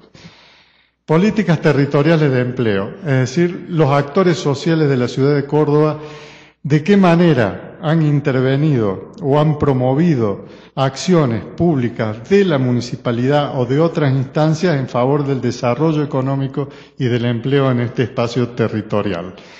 La ciudad de Córdoba en el año 1994 hizo su primer plan estratégico, el plan estratégico de la ciudad de Córdoba, que eh, en 10 años logró poner en marcha una serie de acciones, programas, pero vinculados directamente con la que mm, nos interesa en este momento, hay dos que deseo señalar. La Agencia de Desarrollo Económico de Córdoba, ADEC, que junto con la Fundación Incubadora de Empresas son las dos entidades público-privadas que todavía están funcionando y desarrollando acciones. ¿Quiénes integran la ADEC? La ADEC se integra por la Municipalidad de la Ciudad de Córdoba y también por las cámaras empresarias.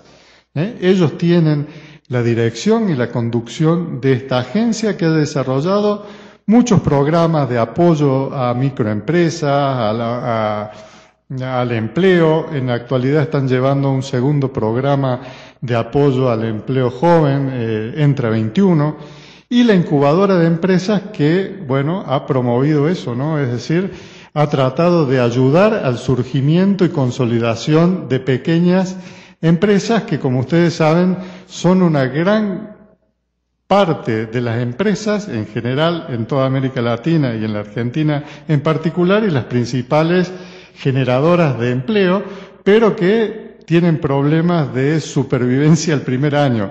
Por lo tanto, la incubadora de empleo de empresas que está integrada por la Municipalidad de Córdoba y dos de las más importantes universidades, la Nacional de Córdoba y la Universidad Tecnológica, durante tres años brindan apoyo a ciertas empresas que son evaluadas como que tienen perspectivas y posibilidades. En el año 2004 se formuló por segunda vez, un, se, hizo un segundo plan estratégico para la ciudad de Córdoba. Allí se definió el desempleo como un factor de inequidad y exclusión y se propusieron un conjunto de actuaciones para mejorar la empleabilidad. Mm, ¿Qué se está haciendo en la actualidad? Muy poco. En el año 2007 hubo un cambio de gobierno municipal y desactivó totalmente eh, estas iniciativas. Fue paralizado eh, el plan estratégico. Mm, no solo eso explica la cuestión. Yo creo que tanto eh, las dificultades para sostener las oficinas municipales de empleo como para llevar adelante estas actuaciones que estaban previstas en el plan estratégico, tienen también que ver con una cosa que nos debe llevar a reflexionar, que es la mejora de la situación económica de la ciudad de Córdoba y la mejora del mercado laboral. La industria automotriz ha crecido y Córdoba está muy vinculado al desarrollo de la industria automotriz mucho en los últimos años. Este año se han vendido un 27% más de automóviles que en el año anterior y por lo tanto la generación de empleo en ese ámbito es muy importante.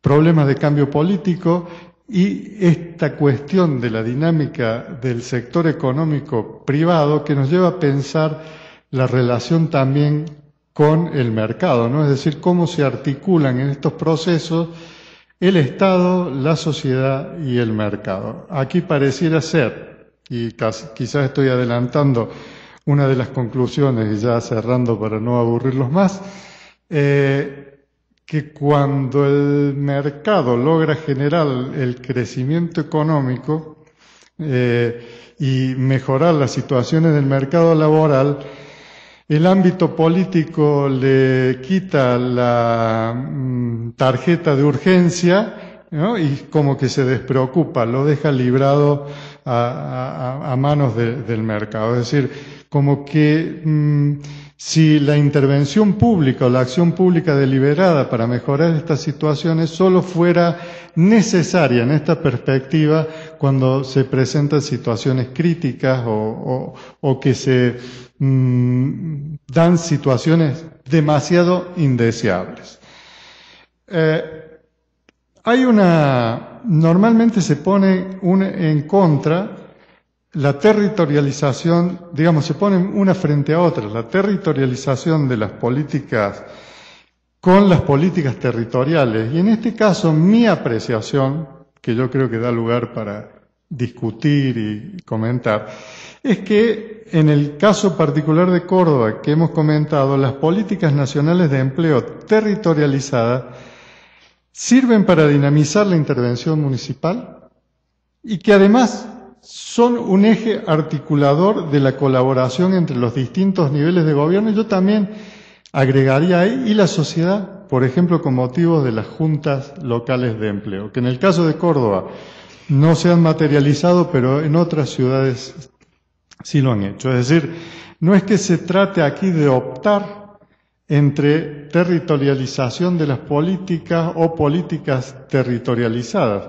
sino la cuestión sería cómo lograr la combinación adecuada para cada territorio de ellos, ¿no? Es decir, lo de arriba hacia abajo y lo de abajo hacia arriba, claro, lo de arriba y hacia abajo siempre y cuando considere el territorio, como en el caso que comentábamos. Otra conclusión importante, me parece a mí, para reflexionar, es que las políticas territoriales de empleo esto que se puso en marcha en el caso de Córdoba con los planes estratégicos, por ejemplo, requieren el compromiso y el soporte de los actores más allá del ciclo político. Es decir, ¿cómo se hace para sustraerlo? ¿Cómo se hace para darle continuidad? En el caso de Córdoba, en el 2007 hubo un cambio de gobierno, se archivó todo lo que se venía haciendo, cierto también que en otro contexto económico y en otro contexto del mercado laboral, pero se discontinuó absolutamente. Las prioridades fueron otras y en ese espacio no fue posible garantizar la continuidad. Pero sí me parece importante el contrapunto con esta otra, estas otras instancias que sí han seguido funcionando, que es el modelo público-privado, de colaboración público-privado que se ha dado en la Agencia de Desarrollo Económico de Córdoba y en la Fundación eh, de Incubadoras de Empresas. Es decir, allí el eh, actor político, la municipalidad, es uno más, pero hay otros actores, las cámaras empresarias en un caso, las universidades en otros, que aseguran esta continuidad más allá del ciclo político.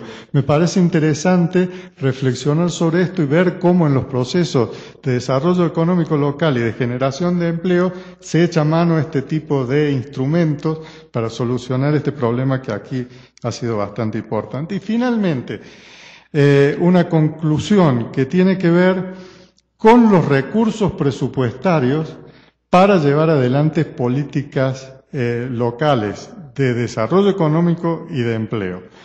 El desarrollo debe ser financiado, los recursos salen de algún lado y cuando hablamos a veces de estas cuestiones tendemos a descuidar este aspecto. Yo, reflexionando sobre eh, lo que pasó en Córdoba y cuáles son las prioridades, que es actuar sobre el empleo joven, me preguntaba, muy bien, ¿cuánto dinero cuesta en el caso de la ciudad de Córdoba, tener una política local efectiva focalizada en los jóvenes en situación de riesgo de exclusión del eh, mercado laboral. Son aproximadamente 20 o 30 mil jóvenes. Yo no tengo la respuesta, no he podido hacer el cálculo, no sé, pero la cifra sería considerable y seguramente mucho más de lo que la Municipalidad de Córdoba ha destinado en la actualidad a este tema. La Municipalidad de Córdoba destina en su presupuesto para 2011 eh, el 3% del presupuesto municipal y de ese 3% el 90% va a gasto corriente. Es decir, que lo que le queda para actuar, si tuviera la decisión de hacerlo, sería insignificante, se quedarían las buenas intenciones.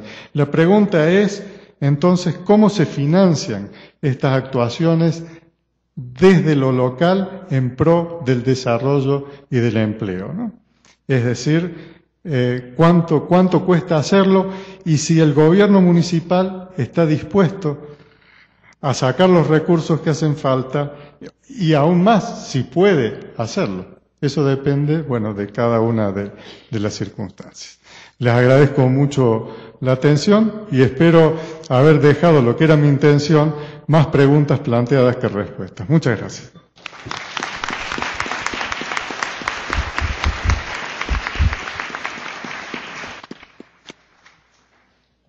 Bien, muchas gracias al, maestro Furlan.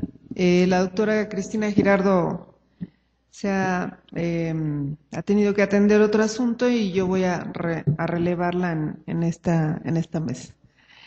Eh, bueno, pues eh, muchas gracias a los dos ponentes. Vamos a, eh, seguramente todos tenemos muchas preguntas que hacerles a estas dos conferencias que pues nos hablan mucho de lo que pasa, yo creo que en México. Y bueno, vamos a dar un espacio de unas preguntas. Por favor, si eh, levantan la mano para que eh, nos dicen por favor su nombre y de dónde vienen para que los, los ponentes puedan contestar. Gracias. Buenas tardes. Eh, Rodrigo Centeno, vengo del municipio de Tlanepantla y también, bueno, tengo que decir, soy profesor también de, de la Universidad Nacional Autónoma de México, en la FESA Catlán. Y bueno, eh, tanto los, la ponencia del doctor Oscar como de este, el maestro José Luis Forlán nos lleva mucho a la reflexión, eh, sobre todo en estas realidades municipales, ¿no? Esta, a veces esta incapacidad de afrontar el papel que ustedes ya decían como un agente promotor del desarrollo local y no nada más como un prestador de servicios. Y nosotros bueno, nos vemos eh, enfrentados a una realidad eh, de carácter metropolitano, de carácter este, inclusive macroregional, una mesorregión que está perdiendo participación en el Producto Interno Bruto de varias de nuestras este, eh, metrópolis que conforman este, este, esta macroregión. Y bueno, vemos un, una pérdida de la, de la planta industrial, una terciarización de la economía, pero también vemos a veces la incapacidad de poder pensar desde los tres ámbitos de gobierno lo que pasa a nivel regional. Entonces, vemos, por ejemplo, que no hay una política pública orientada eh, hacia el, el, inventario de los recursos sociales, de los recursos humanos. Tenemos municipios como Metepec, como propio Toluca, Naucalpan, Tlanepantla, Nezahualcóyotl, inclusive, Coacalco, que tienen porcentajes muy altos en la composición de su población, con entre ochenta y tantos y ciento y tantos profesionistas por cada mil habitantes. Y este, y este gran inventario para orientar las políticas, por ejemplo, de tipo económico, no se dan. Eh, eh, vamos, es un poco la, la, la, pregunta, ¿qué hacer en estos casos, verdad? ¿Qué hacer en estos casos? Y sobre todo en esta cuestión que ya enfatizaba eh, el maestro Fulán, de, de, esa falta de continuidad de las políticas, no es de repente detener, revisar, proponer nuevos cambios, si no hay una, una continuidad en las políticas este, de empleo. Muchas veces vemos nosotros de manera muy lamentable, lo digo también desde el municipio que venimos representando, a veces estas llamadas ferias del empleo pues realmente son muy inconsistentes, este, realmente no, no, no, no llegan a penetrar. Y decía yo esta cuestión de la pertenencia también a la Universidad Nacional, porque ahí doy clases de criminología. Y vemos que efectivamente la mayor, mayor porcentaje de, de, de, los, de la gente que se ve involucrada en cuestiones delictivas y de violencia son precisamente estos segmentos de la población que ustedes ya, ya este, llamaban, ¿no? Los llamados ninis, o sea, gente que ahora vemos en las cárceles, vimos en algunos estudios sobre reclusorios que tienen preparatoria, que tienen profesional y algunos llevan hasta doctorado, en, sobre todo en delitos de cuello blanco.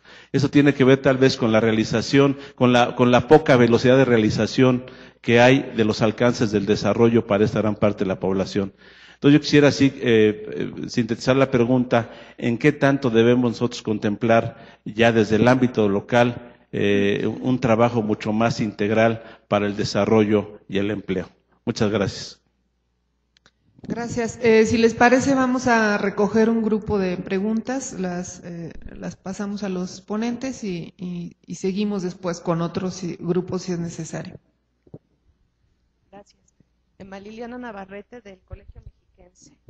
Eh, bueno, se planteó en la primera ponencia una pregunta, eh, la verdad muy provocadora, que era tener empleo para salir de la pobreza a mí me, me, llamó mucho la atención porque en el caso de México la problemática no es necesariamente el desempleo, sino es cómo se está midiendo el empleo.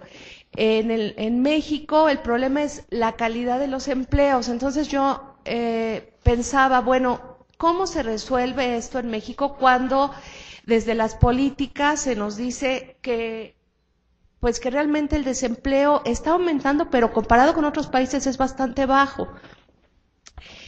Eh, cuando la mitad de la población no tiene prestaciones, cuando la mitad de la población recibe máximo dos salarios mínimos, cuando no hay contratos laborales y cuando ahí sí hay jóvenes, pero también hay un grupo de población adulta que no está teniendo acceso al mercado laboral o está teniendo acceso pero en condiciones bastante deterioradas. Después, eh, esto es a nivel nacional, pero ¿qué pasa, por ejemplo, con el Distrito Federal? Eh, ahí es la entidad en la que yo vivo y en donde transito todos los días viendo que se están generando empleos, pero fundamentalmente dentro del área de la construcción, que sabemos que es una, un área para un grupo reducido. Entonces, aquí entra esto de la población joven. ¿Qué es lo que están haciendo los jóvenes? Hay muchos jóvenes escolarizados que aunque se les ofrezcan este tipo de empleos, no los van a aceptar. Y a mí me parece que tienen razón en no aceptarlos. porque un joven que ha terminado estudios universitarios va a entrar a trabajar en el área de la construcción? Pero lo que se maneja en la entidad, en el Distrito Federal, es que sí está dinamizándose el, las políticas de empleo y que se están generando empleos. Entonces, Quisiera conocer cómo, si en Argentina en específico, en América Latina, ustedes saben, cómo se ha podido re, eh, resolver esta problemática, cómo se ha intentado involucrar a los jóvenes, estos jóvenes que no estudian y no trabajan, pero que son también un grupo muy particular de la población, al menos lo que yo he visto en México, captados por la encuesta nacional de ocupación y empleo, es que no son todos los jóvenes, son un grupo que de alguna manera ha tenido la posibilidad de seguir buscando un trabajo, y tiene un respaldo, un colchón familiar que le permite seguir buscando. Aquellos que no pueden tener este respaldo, lo que está pasando es que se meten en lo que sea, en cualquier tipo de actividades, por más deterioradas, ilegales, clandestinas, en fin, que encuentran, ¿no? Eh, ¿Alguien más? Sí, buenas tardes. Soy la maestra Elizabeth de la Facultad de Planeación y tengo una cuestionante para el doctor Oscar. Eh, con relación a las dos herramientas de la política de empleo que han experimentado la, las, oficinas municipales de empleo local y el de acuerdos territoriales de empleo, eso que nos acaba de comentar.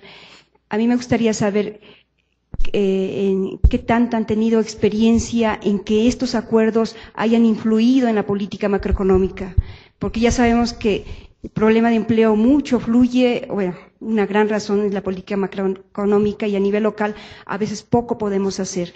¿Qué tanto estos acuerdos han influido en, en, en, en esta misma? ¿no? Gracias. Eh, una última de este bloque y eh, les pasamos la palabra a los, a los conferencistas y luego hacemos otro. Adelante. Muchas gracias. Con su permiso, maestro Furlán, usted señalaba en su presentación que el 20% de los jóvenes de la Gran Córdoba están desempleados. Me parece que cuando hace la aseveración nos permite ver eh, solo una parte, la parte intermedia de la situación que se está viendo. En un enfoque sistémico habría que ver las entradas a este problema. ¿Qué es lo que lo ocasiona? ¿No hay escuelas suficientes? ¿Las que le están ofertando no, no revisten ningún interés para ellos? ¿O no está bien direccionada esto? Pero tampoco nos permite ver la consecuencia de ello para saber qué es lo que está ocurriendo, para que una retroalimentación, un feedback, le permita también tener una aportación en su presentación. Soy Raúl Galván Díaz de la Dirección de Desarrollo Económico de Netzahualcoyot. Muchas gracias.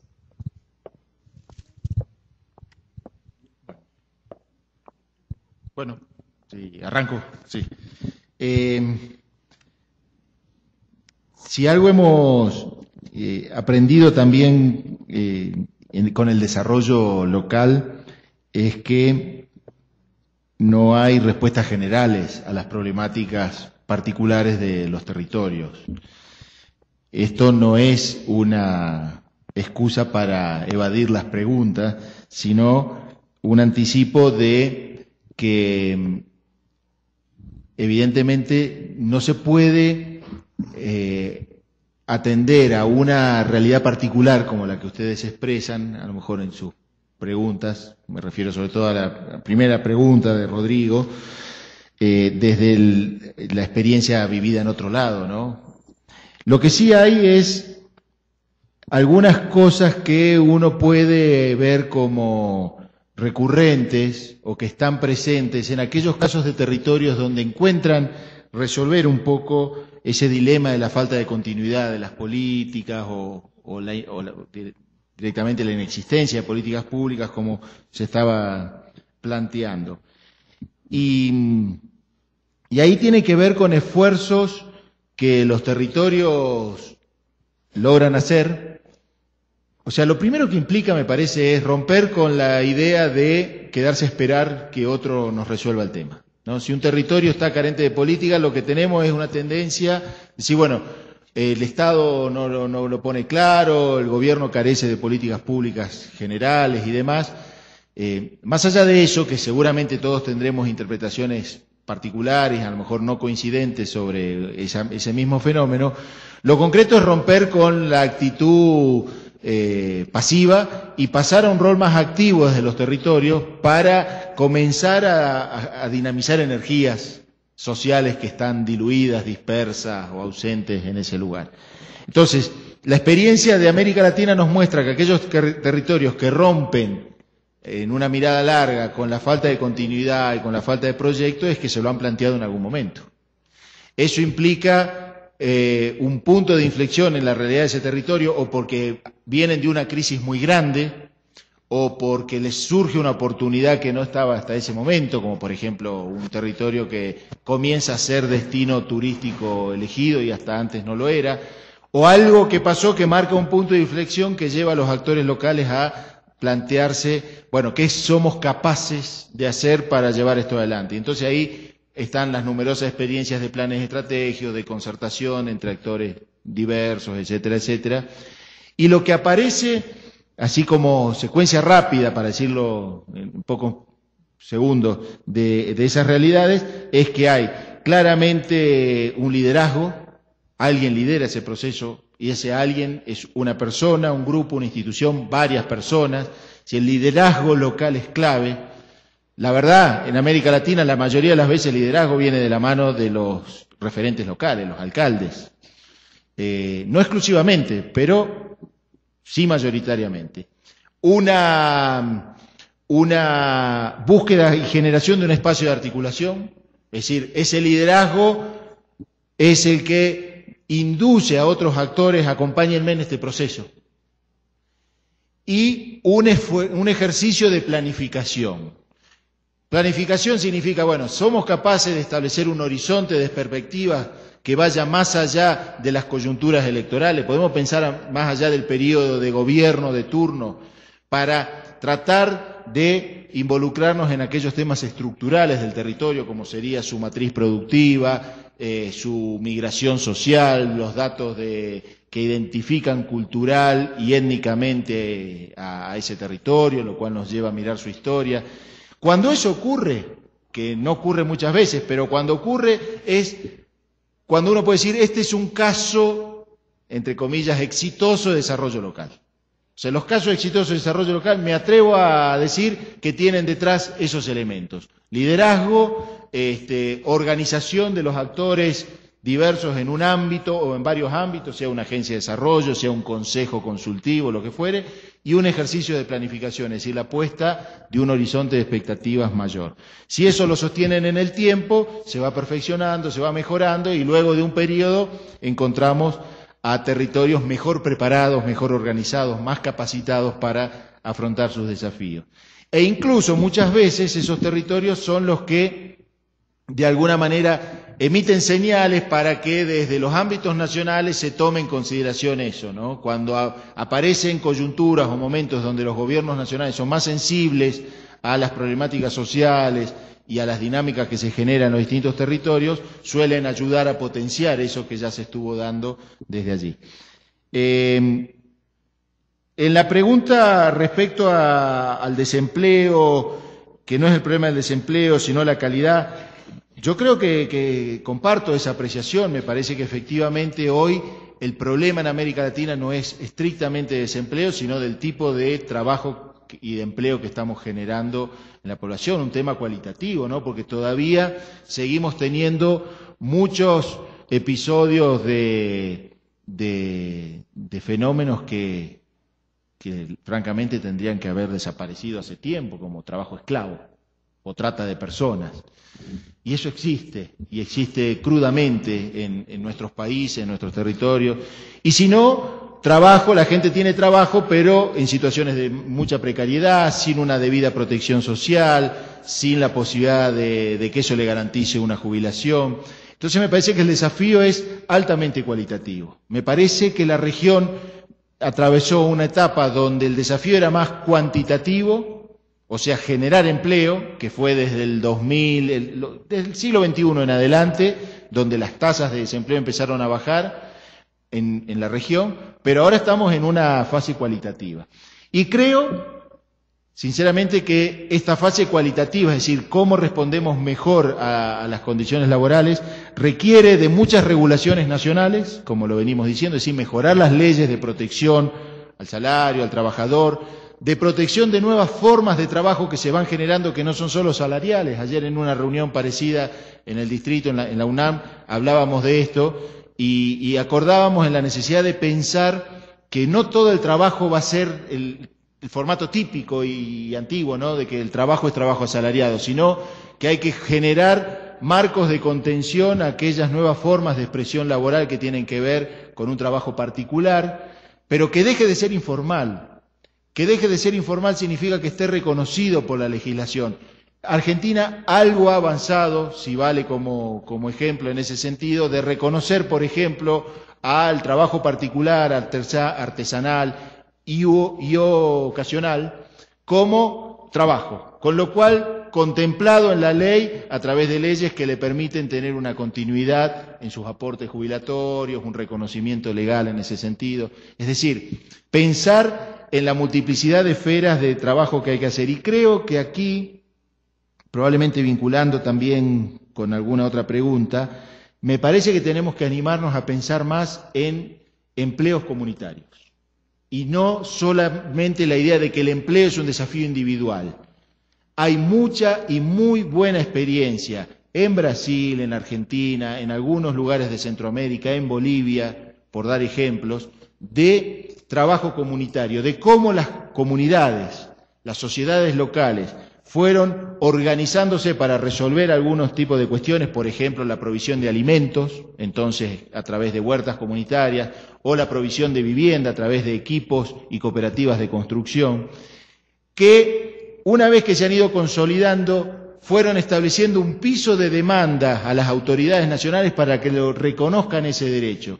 Y cuando eso se reconoce, la verdad que es un salto cualitativo importante, como por ejemplo el reconocimiento a través de la legislación nacional a las cooperativas locales de trabajadores como actores prioritarios en las políticas públicas de, construcción de infraestructura, de vivienda. ¿no? Se lo reconoce, porque ahí, ¿qué es que está ocurriendo allí? El Estado reconoce a ese actor comunitario como alguien con derechos como para competir en base a determinadas reglas de juego con el capital más concentrado, ¿no? Romper con esa cosa de que la obra pública la hace solo el capital, o sea, las empresas constructoras tradicionales, sino a través de una serie de mecanismos preservar la posibilidad de que una parte importante de ese dinero público, que, suele ser eh, muy dinámico en las economías locales, pueda ser direccionado a estas cooperativas de trabajadores. Entonces ahí eh, termino, hay dos cosas eh, mucho de dinámica social, o sea, de las sociedades locales que se organizan fuertemente y un protagonismo público que es capaz de reconocer esas dinámicas. Y bueno, me quedaba la última pregunta de la, esas experiencias de acuerdos territoriales, si son capaces de influir en la política macroeconómica. Bueno, es una disputa política eso, ¿no? Hay ejemplos de avances y retrocesos. Eh, casi por igual, o sea, no es que eh, una vez que se instalan estos acuerdos territoriales o estas oficinas, necesariamente el camino que se transita es llano y fácil, pero eso no impide pensar que, nuevamente lo que decía antes, que a partir de algunos avances y de buenas experiencias que se puedan lograr en los ámbitos locales, eh, en determinados momentos los gobiernos centrales, si tienen la sensibilidad social adecuada, son capaces de reconocer y proteger esas experiencias. ¿no? Eh, lograr eso es una disputa política. O sea, yo creo que la respuesta es sobre los modelos políticos de desarrollo que nuestros países están planteando, ¿no? Y eso, si digo político, estoy diciendo es una lucha de poder y una lucha permanente por lograr avances en las conquistas sociales que se van planteando. Bueno, eh, a la respuesta, ¿cómo se hace? Eh, yo creo que tenía razón Roberto Guimaraes cuando señalaba que el desarrollo local es una práctica en busca de su teoría. Quiero decir, me parece interesante porque señala, primero, es un campo relativamente nuevo, hablábamos 29 años, y no sabemos exactamente eh, cómo podemos intervenir utilizando todos los instrumentos y activando todas las variables que en, la mayoría de las situaciones nos permitieran obtener un resultado que llamaríamos desarrollo local. Sí hay identificadas cosas, por supuesto, es que en estos 29 años se ha aprendido, pero hay mucho todavía por aprender. Hay cosas que son más tangibles, más observables, eh, por ejemplo, los espacios de articulación, como puede ser una agencia de desarrollo, como puede ser una junta eh, eh, local de empleo, como puede ser el espacio de discusión de un plan estratégico, es lo que señalaba el doctor Madueri. Sí, la importancia que tiene una visión compartida del territorio, de sus problemas, de las opciones que se tienen en ese contexto más amplio que trasciende el territorio, que puede ser el ámbito nacional e incluso el ámbito globalizado, que hay fenómenos como eh, que algunas personas empujan a sus comunidades hacia un aprendizaje colectivo de cómo lograr mejores condiciones y oportunidades de vida. Eh, pero yo creo que mm, la gobernabilidad que tenemos sobre esos factores eh, todavía no, no, sabemos cómo ejercitarla. a ver si me explico. Eh, si en una sociedad se da una situación de liderazgo, pues bien, estamos en buen camino. Pero si no hay liderazgos, si lo que se producen son conflictos, si la sociedad está fragmentada, ¿qué ponemos en marcha para lograr ese recurso que nos hace falta para encaminar el desarrollo? Hay muchas cuestiones intangibles que tienen que ver con lo cultural, que tienen que ver con, con, este, el capital social, que seguramente el doctor Vargas en su ponencia nos ilustrará, porque ha estudiado, creo que con esa preocupación de decir, bueno, ¿por qué en algunos lugares pasa y en otros no? Porque si estudiamos debidamente aquellos lugares en los que pasa y sacamos lecciones, en aquellos donde no pasa quizás podamos hacer algo. No, no, no lo sabemos, ciertamente, y justamente eso es lo que pone en valor espacios como este espacios en donde eh, reflexionamos teóricamente, donde acudimos a la experiencia, ¿para qué? Para sacar lecciones aprendidas, ¿para qué? Para intervenir de la mejor manera promoviendo el desarrollo local y el empleo en nuestros eh, territorios. Eh, sobre el tema de la relación entre lo local, lo mac y lo macroeconómico, bueno, yo creo que es un gran avance el que desde los niveles centrales se empiecen a considerar los territorios. Me parece que eso está, está pasando ahora más a menudo, no solo en relación a las políticas de empleo, que sí, la descentralización básicamente, que como yo señalaba en mi intervención, ha avanzado en toda América Latina, significa eso, significa comprender que desde el centro, desde los niveles nacionales, no se pueden dar respuesta a la disparidad de situaciones y de cuestiones que se plantean en los territorios. Básicamente el ABC de la descentralización es eso, reconocer que los ciudadanos en un territorio tienen posibilidades, expectativas, demandas distintas a las de otro y que por lo tanto la manera más racional de intervenir es aproximando la respuesta a esas necesidades de los ciudadanos. Ese principio me parece que aunque todavía no ha hecho carne en el 100% de las políticas, es un enfoque que está ganando afortunadamente terreno y que nos va a permitir, eh, que nos va a permitir avanzar. Eh, y sobre el tema del empleo juvenil, que efectivamente es una de, las prioridades, claro, las causas son, son diversas. ¿eh? Por ejemplo, eh, están vinculados a cuestiones de oportunidades, a cuestiones de educación y también al tipo de eh, empleos que se van generando, porque el proceso económico genera empleos, pero también destruye empleos. Y genera empleos que tienen requisitos distintos que los anteriores.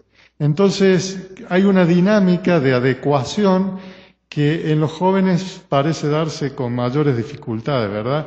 Los programas más o menos tienen, yo creo, una matriz similar, los programas de promoción de la empleabilidad juvenil. En primer lugar, ayudarles, incentivarles a que completen sus estudios, a que mejoren sus competencias, sus capacidades en el ámbito formal y también en el de la formación laboral específicamente. Segundo, que hagan alguna experiencia laboral, es decir, que puedan mm, mm, mejorar su currículum, que puedan luego insertarse en el mercado laboral. Y otro que creo que está más o menos presente en todos los programas es el incentivo a las empresas a, digamos, contratar personas con el perfil eh, de este, eh, espacio, de este segmento etario del mercado laboral. Es decir, estímulos, ¿no es cierto?, a la contratación de los jóvenes. Eso está más o menos, este, yo creo, es conocido. Eh, lo que sí me parece, es, y lo vinculo con mi última reflexión, es que las actuaciones frente a la magnitud del problema son bastante, bastante insuficientes. Por ejemplo, en la ciudad de Córdoba hablamos de unos 30.000 jóvenes en esta situación eh, preocupante, ¿verdad? Y, eh, por ejemplo, el programa Entra 21 había favorecido ¿eh? a 400 jóvenes. Es decir, es una gota en un mar. Por lo tanto, el tema no es tanto qué es lo que hay que hacer, que es más o menos conocido, sino de cómo le damos los recursos para que eso que ya sabemos que tenemos que hacer tenga verdaderamente un impacto significativo. Me parece que la reflexión va por ahí, eso nos lleva, claro, a problemas de redistribución de la riqueza, fiscalidad local, etcétera, etcétera, un campo más, más amplio. Eh, gracias.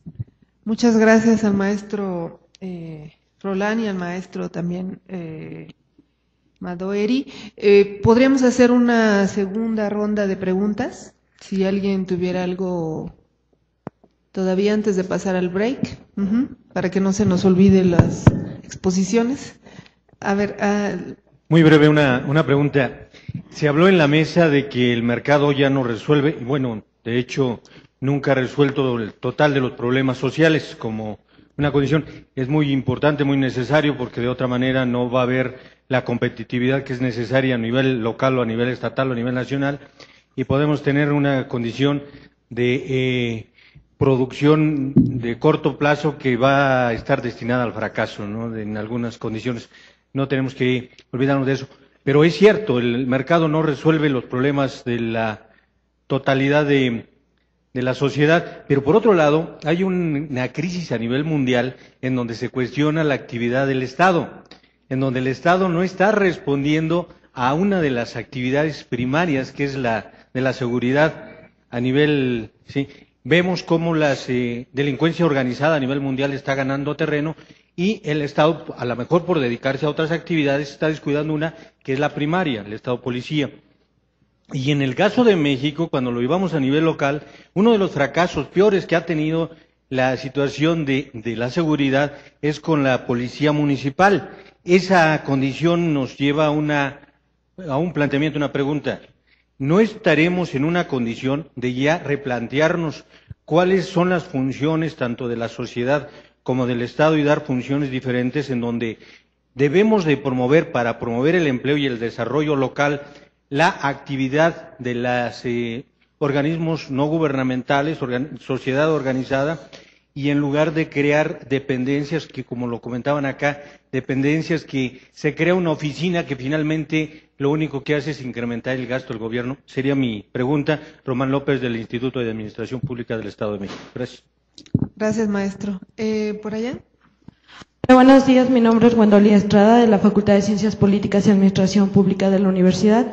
Eh, bueno, me gustaría saber, desde su perspectiva, cómo se podría hacer para implementar políticas públicas que fueran factibles, viables, aquí en México, en donde los hacedores o implementadores de políticas públicas anteponen, eh, anteponen las necesidades de los, ahora sí, de las élites o de los particulares. ¿Cómo hacer eso? Anteponer primero la necesidad de la comunidad para así fomentar el desarrollo local y así tener empleo.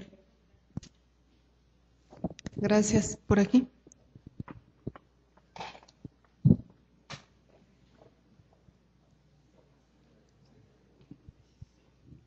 Gracias, buenas tardes. Mi nombre es Rebeca Pérez Mendoza, soy directora de Desarrollo Económico del municipio de Tlalmanalco y bueno, a lo mejor más que una pregunta es una reflexión. Yo creo que habemos muchas personas interesadas y ocupadas en resolver las problemáticas locales de nuestros municipios.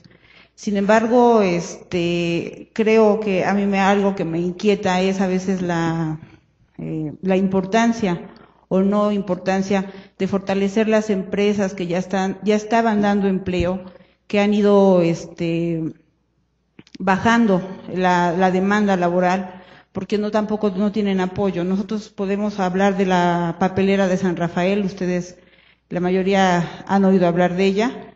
este, cada vez hay más despido de personal porque no hay recursos. Entonces, este, yo creo que habemos muchas personas ocupadas en iniciativas locales, pero hace falta políticas este, públicas que mejoren la calidad de las empresas ya existentes y además que pudiesen consensar o apoyar a todos los que tenemos esta inquietud para unirnos, hacer este, más fuerte esta, esta labor, ¿no? Yo creo que hacer así como que cada quien su, perdón la expresión, su ronchita en casa, ir buscando alternativas de crecimiento locales, pero también tener contacto directo con personas como ustedes que dan iniciativas y enfoques que a lo mejor de repente escapan a la visión de uno, ¿no? Nosotros tenemos la bolsa de empleo, yo creo que es una buena arma para, para ayudar a, a nuestra comunidad se está vinculando prácticamente, este, pues estamos hablando hasta del 92% de vinculación con, con las empresas y los trabajadores.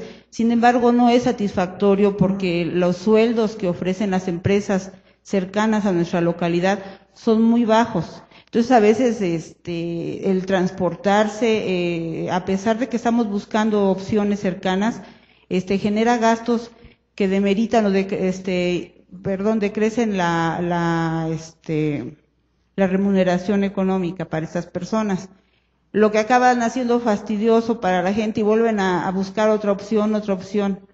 Este, pues yo nada más, esa es mi participación, muchas gracias y, y pues que tengan una buena tarde. Gracias. Eh, por ahí atrás había una más. Buenos días. Eh, se comentó aquí que el desarrollo tiene diferentes aspectos y, me, y yo escuché por ahí una frase muy interesante respecto a que la cultura es desarrollo. Yo estoy de acuerdo y también estoy de acuerdo en la idea de que pues no hay respuestas generales para situaciones locales. Sin embargo, me gustaría saber si alguno de ustedes pudiera compartirnos una experiencia exitosa en la cual en un territorio multicultural con presencia de, de, diferencias abismales económicas, eh, como es en nuestro mismo estado y muchas, muchas eh, situaciones latinoamericanas. Si ustedes conocen alguna, alguna situación en la cual se haya podido fomentar en tema de empleo la inclusión de, de una multiculturalidad para impulsar em, el empleo en, igualdad de circunstancias, sin el paliativo típico de vamos a apoyar a los artesanos y estas situaciones. Eh, y si ustedes consideran que esto no atenta de alguna manera, no pone en peligro de extinción la, la digamos, la identidad de estas eh, etnias eh, inmersas en el territorio local.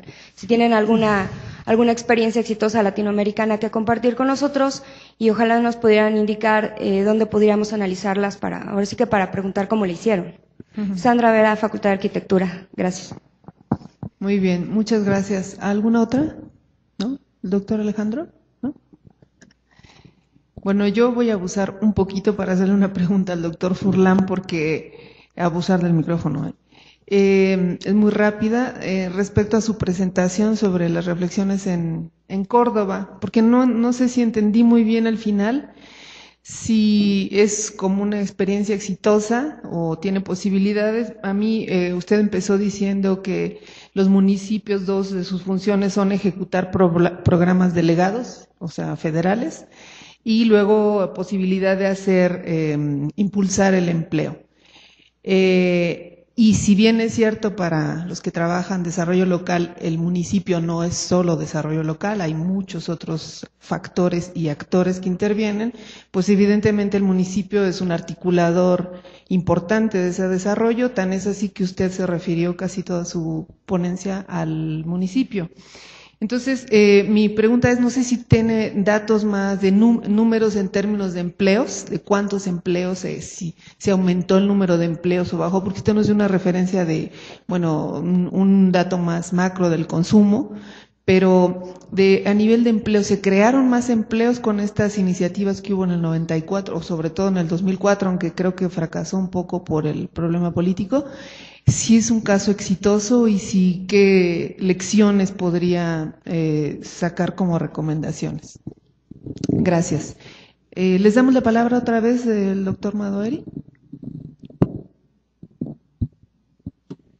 Eh, bien, son, son varias preguntas y son eh, profundas, ¿no? En algunas cuestiones. Voy a intentar hacer una, una respuesta que englobe en, en general a las preguntas, no sé si lo voy a lograr, pero eh, vinculando, porque creo que hay algún elemento común en, en todas ellas y me parece que eh, lo que tendríamos que enfatizar, que fue dicho, eh, pero me parece que por el tenor de algunas preguntas habría que enfatizar un poco, es que eh, las respuestas que, que nosotros podamos dar a los problemas del desarrollo y el desarrollo territorial en particular, yo creo que son siempre respuestas de tipo político. Eh, cuando digo tipo político no digo que lo resuelve un partido político. La política es algo eh, más, más rico, más amplio que la sola lucha partidaria. Esa es una expresión de la actividad política. Cuando me refiero a político me refiero a a partir de un lugar en la sociedad, a partir de un interés, a partir de una ideología, a partir de un objetivo. Eh, los seres humanos nos diferenciamos en esos intereses y en esos objetivos, por múltiples razones que no vamos a analizar aquí, pero los que venimos de las ciencias sociales lo, sabemos muy bien, ¿no? Es decir, tenemos ideales de sociedad y objetivos, algunos más a largo plazo, otros más inmediatos, que nos se parecen con otros y nos diferencian con algunos otros. Con lo cual, las sociedades son siempre sociedades de diversidad. Son sociedades de posibles tensiones, de equilibrios y de desequilibrios, de consensos y de conflictos. Y eso aparece, desaparece por momentos. Con lo cual, ¿por qué planteo esto? Porque la respuesta a más o menos mercado, a más o menos Estado, a más o menos sociedad civil, son siempre respuestas desde una opción política y desde un interés que uno defiende. Dicho esto, poner un poco más en concreto esa cuestión. Podríamos decir que, de acuerdo a las señales que nos vienen del escenario global y lo que está ocurriendo, no solo en México, en Argentina, sino hoy día en muchos de países, es que pareciera ser que lo que está entrando en crisis es una tendencia de un mercado desbocado. Si algo está mostrando el mundo es que el mercado se ha salido de fuente, ¿no? ¿Por qué? Por una búsqueda exacerbada de la rentabilidad, por una búsqueda exacerbada de la rentabilidad rápida a través de los capitales financieros. Y esa lógica que se ha diseminado a nivel global hoy está marcando límites muy fuertes en esos procesos y nuevas tensiones. Las respuestas a esas tensiones seguramente serán distintas de acuerdo al perfil político ideológico de quien tiene que tomar la decisión. América Latina, por lo menos el cono sur, está respondiendo a, esta, a este momento a partir de un reforzamiento de la identidad de nuestros países, a partir de búsquedas de acuerdos entre los países de la región como para aparecer más fuertes. La UNASUR, por ejemplo, es una creación de los países de Sudamérica.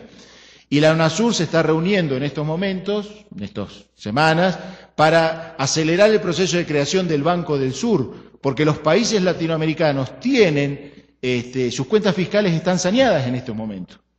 Y entonces la pregunta es, ¿por qué no juntar a los países, a Brasil, Argentina, Chile, bueno, los 10, 12 países que forman la UNASUR, y crear una entidad financiera para resolver los problemas que la crisis financiera va a generar en la región? Es decir, en lugar de salir a buscar recursos financieros a los mercados internacionales como tradicionalmente se hicieron, generémonos nosotros. Y si uno de los países, por poner un ejemplo, Paraguay, necesita ayuda financiera para resolver algo, que esa ayuda le venga de los países de la región y no del Fondo Monetario o de otro lado. Esa claramente, esa respuesta, que no sé hasta dónde avanzará o no, es una respuesta desde una toma de posición política. Europa está buscando otra respuesta. A mi humilde entender, me parece que la respuesta que están dando son las potencias europeas que son más fuertes y que están pugnando por la respuesta más neoliberal conocida, es decir, ajuste, achique de gasto público, desempleo y demás. Me parece que es una respuesta más sensible a lo que necesitan los capitales financieros y los capitales eh, concentrados que lo que necesita la población de esos países. Y es lo que estamos viendo en Grecia y demás. En fin, es polémico esto porque es político, justamente. Creo que en América Latina estamos encontrando algunos visos de respuesta más adecuados desde una lógica de desarrollo, de contemplar derechos sociales y de no contemplar solamente la sensibilidad del capital. Para afrontar el proceso de desarrollo, entonces, eh, creo que no se trata de reemplazar al Estado por el mercado o al mercado por el Estado. Necesitamos más mercado, más Estado y más sociedad civil, pero desde una lógica donde el mercado no subordine al resto, porque eso es lo que ha pasado en las últimas décadas en la región. Nuestros gobiernos, nuestros estados, han quedado subordinados a las lógicas del capital, sean lógicas de la concentración productiva o en el caso de de, de México, me atrevo a pensar, donde algunas dinámicas económicas vinculadas al narcotráfico y demás son tan fuertes que impiden u obstaculizan otro tipo de dinámicas eh, productivas o sociales, y ahí se generan tensiones muy fuertes, ¿no? Que me cuentan ustedes, que sé yo, escuchaba ayer y hoy en estos días, eh, el dilema de un joven en conseguir un trabajo de ocho horas por un salario o la tentación de someterse a algún circuito cercano o ya prácticamente en la ilegalidad, donde encuentra recursos mayores a través de ese tipo de actividades. Bueno, ahí hay un problema muy fuerte que pone, como usted bien decía, en tensión un rol clave del Estado, que es si es capaz de garantizar la seguridad pública. La verdad que ese sí efectivamente es un tema. En síntesis, quiero terminar esta reflexión yo creo que toda sociedad actual histórica tiene un Estado, una sociedad civil y un mercado, porque la, gente vivimos en comunidad, sociedad civil, necesitamos producir bienes y servicios para reproducirnos, mercado, y necesitamos reglas de juego para que la convivencia sea lo más armónica posible, Estado. Por ende, la salida del desarrollo es fortalecer esos tres sectores en una lógica donde lo que se priorice sea la inclusión sobre la apropiación, lo común sobre lo individual, lo social sobre lo particular, en fin, y esa, búsqueda es, reitero, siempre ideológica, no todos vamos a pensar lo mismo en ese sentido.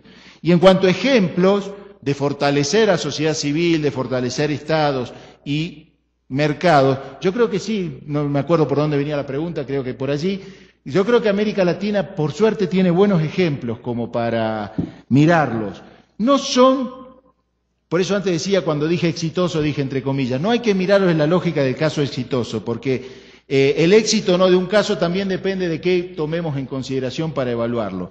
Pero sí son casos importantes de fortalecimiento de alguna de estas esferas o de todas ellas juntas para encontrar otro tipo de respuestas. Mencionaría, por ejemplo, el caso de Villa El Salvador en Perú. Véanlo, búsquenlo. Rápidamente se trata de un caso de organización de la sociedad civil para resolver por sus propios medios la vivienda. Gente en situación de marginación absoluta en las calles de Lima, tres décadas atrás, se va organizando. ¿Qué es lo que hay de fuerte ahí para considerar? El criterio de autoorganización. Esa comunidad, hoy de 350.000 habitantes y 35 años de historia, mantiene el principio de la autoorganización. Es decir, la toma de decisiones es comunitaria. Hay un privilegio de la idea de que los que formamos parte de esa comunidad decidimos conjuntamente cómo vamos resolviendo nuestros problemas, que en algún caso son particulares, pero son siempre colectivos. Es decir, cómo educamos a nuestros hijos, cómo generamos nuevas fuentes de trabajo para nuestros jóvenes, cómo resolvemos el problema de la vivienda de todos los habitantes, de salud, etcétera, etcétera. Un caso Interesante a tomar, lo mencionaba ayer también, es la de la cooperativa, el proyecto Esperanza en Brasil, en Santa María, búsquenlo también. Es un proyecto ya que tiene 30 años de un alto grado de asociativismo productivo para resolver los problemas de nuevo, primero de seguridad alimentaria, es decir, proveerse el alimento de esa comunidad, y luego de generar producciones bajo una lógica no del mercado privado, sino una lógica de un mercado comunitario, economía social y solidaria, como se lo suele mencionar. Y otro ejemplo interesante donde aparece más marcado lo multiétnico que vos mencionabas, se me ocurre pensar, más reciente, muy atravesado por tensiones, pero en el norte de nuestro país, de Argentina, que es la parte donde hay mayor densidad de, y diversidad étnica y demás, ahí se están dando una serie de experiencias muy concretas de autoorganización también de la comunidad, un grupo que se denomina Tupac Amaru, que ha desarrollado y viene desarrollando una política de vivienda, de construcción de escuelas y de resolución de la problemática del empleo. Es decir, esa comunidad dijo, tenemos dos caminos, o resolvemos el problema individualmente cada uno de nosotros o generamos opciones de empleo comunitario, a partir de hacernos nosotros cargo de los problemas de nuestra comunidad. Entonces, eh, instruyamos a los jóvenes para que sean albañiles y construyan la vivienda, organicemos la comunidad, en fin, toda una serie de cuestiones, una experiencia muy rica, hoy ha construido miles de, de viviendas bajo ese formato, y donde la política pública ha oscilado en determinados momentos históricos entre ignorarlo o apoyarlo. Hoy está en una etapa donde se lo ve apoyado, entonces eso genera una ampliación de la, experiencia que lógicamente no está impedida de tensiones, ¿no? Porque esa experiencia también toca intereses y esos intereses se defienden, por ejemplo, los del capital inmobiliario más concentrado, que han perdido el privilegio de, de, la opción de la obra pública. Ahora muchos de los planes oficiales de vivienda se transfieren directamente a esa cooperativa y no a las empresas de mercado y eso genera tensiones. En fin, un proceso abierto como para ver nuevamente de que no se trata de casos de manual, de modelitos ideales, sino de experiencias donde lo que hay detrás de ello es un protagonismo social muy fuerte, una organización comunitaria, un liderazgo y una búsqueda de respuestas a los problemas locales a partir de nuevos caminos, donde el protagonismo social es la clave, ¿no? No, por favor. Eh, bueno, mm, yo voy a comenzar esta ronda de respuestas eh, sobre el tema de la experiencia de Córdoba. Si es exitosa o no, pues no, creo que no. Pero eso tiene, tiene un valor. Mm, no solo se aprende de las experiencias exitosas, las lecciones aprendidas van más allá del éxito, ¿no? Es decir, se aprende de los fracasos también. ¿Y en qué sentido no ha sido exitosa? No ha sido exitosa porque en Córdoba efectivamente, bueno, yo no puse ahí los datos, la evolución de, pero en Córdoba mejoró muchísimo el empleo. Si partimos del año 2001, perdón, del año 2002, cuando se sintieron los efectos de la crisis a la actualidad, es que en la actualidad el desempleo es muy bajo, incluso mucho más bajo que el que existe en el conjunto del país. Entonces, sí ha habido, digamos, una mejora en, materia de empleo. ¿Cuánto de eso, y creo que por ahí va la, pregunta, es atribuible a lo que se hizo desde las distintas instancias locales de actuación en materia de desarrollo y de empleo? La DEC, la Fundación eh, de Incubadora de Empresa o de la propia municipalidad implementando las disposiciones o los programas del plan estratégico, pues ahí está un poco la, eh, la, la, la reflexión. No, no ha sido exitoso porque la incidencia de esas actuaciones no explican el, la mejora del empleo y tampoco explican la corrección de los problemas asociados al empleo en este momento, como la desocupación o la desocupación juvenil. Mm, es decir, ha sido más bien el mercado y actuaciones planteadas de otros niveles del Estado como el nivel nacional los que explican la corrección o las mejoras en materia de empleo y las correcciones eh, con relación a desocupación y desocupación juvenil, por ejemplo. Entonces, eh, de ahí venía la, la reflexión, ¿no? Es decir, ¿cuáles son los instrumentos con los que podemos incidir y también, y vuelvo de nuevo a señalarlo porque a mí me parece muy, muy importante, con qué recursos intervenimos en estas, en estas realidades para tener, con qué nivel de recursos para tener verdaderamente un impacto. Porque no se trata de hacer un programa o dos. En realidad se, re, se trata de resolver de una manera más efectiva el problema de una magnitud considerable. Es decir, tenemos que ser, tener capacidad de incidencia en, esa realidad. Bueno, ese es un poco el interrogante queda abierto las respuestas. En cuanto a las cuestiones generales, yo creo que eh, mm, sería un poco reiterativo de mi parte, pero coincido con lo que ha dicho el doctor Madueri. Eh, el desafío de cuánto mercado o la pregunta de cuánto mercado, cuánta sociedad y cuánto Estado necesitamos tiene una respuesta política y las respuestas políticas se construyen a partir de diversidad de enfoques, diversidad de, interpretaciones de lo que está ocurriendo, de lo que es mejor que ocurra y de, además de intereses concretos y específicos que tienen los actores sociales. Mm, ¿Qué se puede hacer para mejorar nuestros procesos de decisión en este sentido?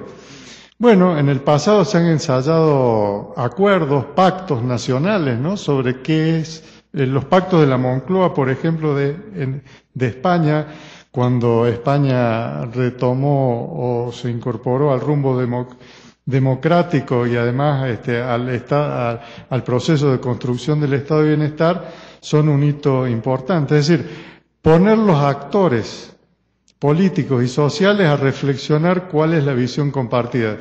Sé que desde el punto de vista instrumental eso es bastante complicado, complicado de hacer, pero eh, los diálogos nacionales ayudan a esclarecer los caminos, ayudan a aclarar cuestiones. Las decisiones al final siempre se tomarán, esperemos que siga siendo así, a través de los procesos democráticos de formación del poder. Es decir, votaremos las opciones que nos parezcan más convenientes y quienes resulten elegidos tendrán que llevar adelante los programas que hemos, que hemos votado. Me parece que eso sí puede ser complementado en otros planos con la participación de la gente en los procesos de las políticas públicas, por ejemplo, la participación ciudadana es un capital importante que se puede movilizar para lograr más eficacia y efectividad.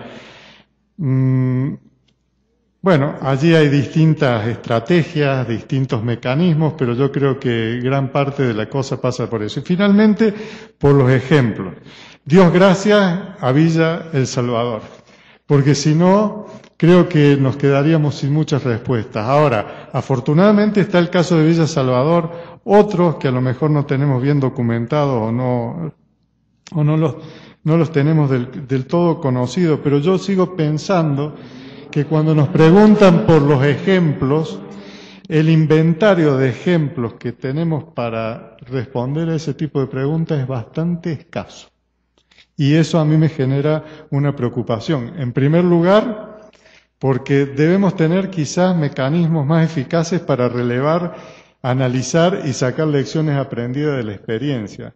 Y por otra parte, también me abre un interrogante de hasta qué punto el desarrollo local que nosotros estudiamos, promovemos, tratamos de, de- de definir desde el punto de vista conceptual e instrumentalmente, e instrumental, realmente es operativo y genera realidades de, de- de desarrollo. Eh, tenemos allí un, interrogante. Yo no me atrevo a decir, sí, miren, el desarrollo local tiene la respuesta y poniéndola en, en- en acción podemos mejorar la realidad. Todavía estamos allí en ese, en ese campo en el que tenemos mucho que aprender. Y una última cuestión, ¿cómo se puede incidir eh, desde lo municipal en cuestiones más generales? Bueno, yo creo que está el asociativismo municipal. Eh, en todos los países existen asociaciones municipales. Eh, a nivel de América Latina está FLAGMA, a nivel mundial está eh, CGLU, Ciudades y Gobiernos Locales Unidos, y yo creo que los gobiernos locales deben participar en esas instancias, así como participan de instancias de reflexión como esta. Simplemente para comentarles qué se puede hacer desde allí. Bueno, se pueden hacer algunas cosas. Eh, mm, se reúne todos los años la cumbre de jefes de Estado y de Gobierno, la cumbre iberoamericana de jefes de Estado y de Gobierno. Eh, el año pasado se reunió en El Salvador, paralelo, y este año se va a reunir, en- se reunió o se está por reunir en Paraguay. Eh, paralelo a esas cumbres se realizan foros de gobiernos locales incentivados por CGLU y las asociaciones FLAGMA y las asociaciones eh, nacionales de, de gobiernos locales. Se sacan declaraciones que se llevan a la cumbre. La anterior fue sobre la autonomía, en defensa de la autonomía municipal, y la reciente, que fue hace un par de semanas en la Asunción de Paraguay, fue en defensa de la descentralización y el rol de los gobiernos locales en la actual coyuntura internacional. Eso se lleva a los jefes de Estado y Gobierno y se les pide que tomen, eh, digamos, resolución al respecto. Está bien, no necesariamente eso va a cambiar la realidad de nuestros países, pero creo que son espacios que además de todas las otras cosas que hacemos, deben ser aprovechadas. Muchas gracias. Muchas gracias al maestro Fulán, al doctor Madoeri. Les agradecemos mucho sus, sus conferencias y sus reflexiones. Eh, vamos en el programa, ustedes ven, tenemos un receso, piensen que estamos retrasados, pero van a ver que nos vamos a recuperar. Entonces les pido volver en 10 minutos, por favor, para... Efectivamente, como lo acaba de mencionar la doctora Cecilia Cadena, se abre un espacio para un receso de 10 minutos, al término del cual se hará entrega de los trabajos de la siguiente ponencia de acuerdo al programa, la cual se titula Desarrollo local y globalización en el Estado de México, a cargo del doctor José Alejandro Vargas Castro del Colegio Mexiquense. Una vez más, les reitera que en 10 minutos regresamos a este foro.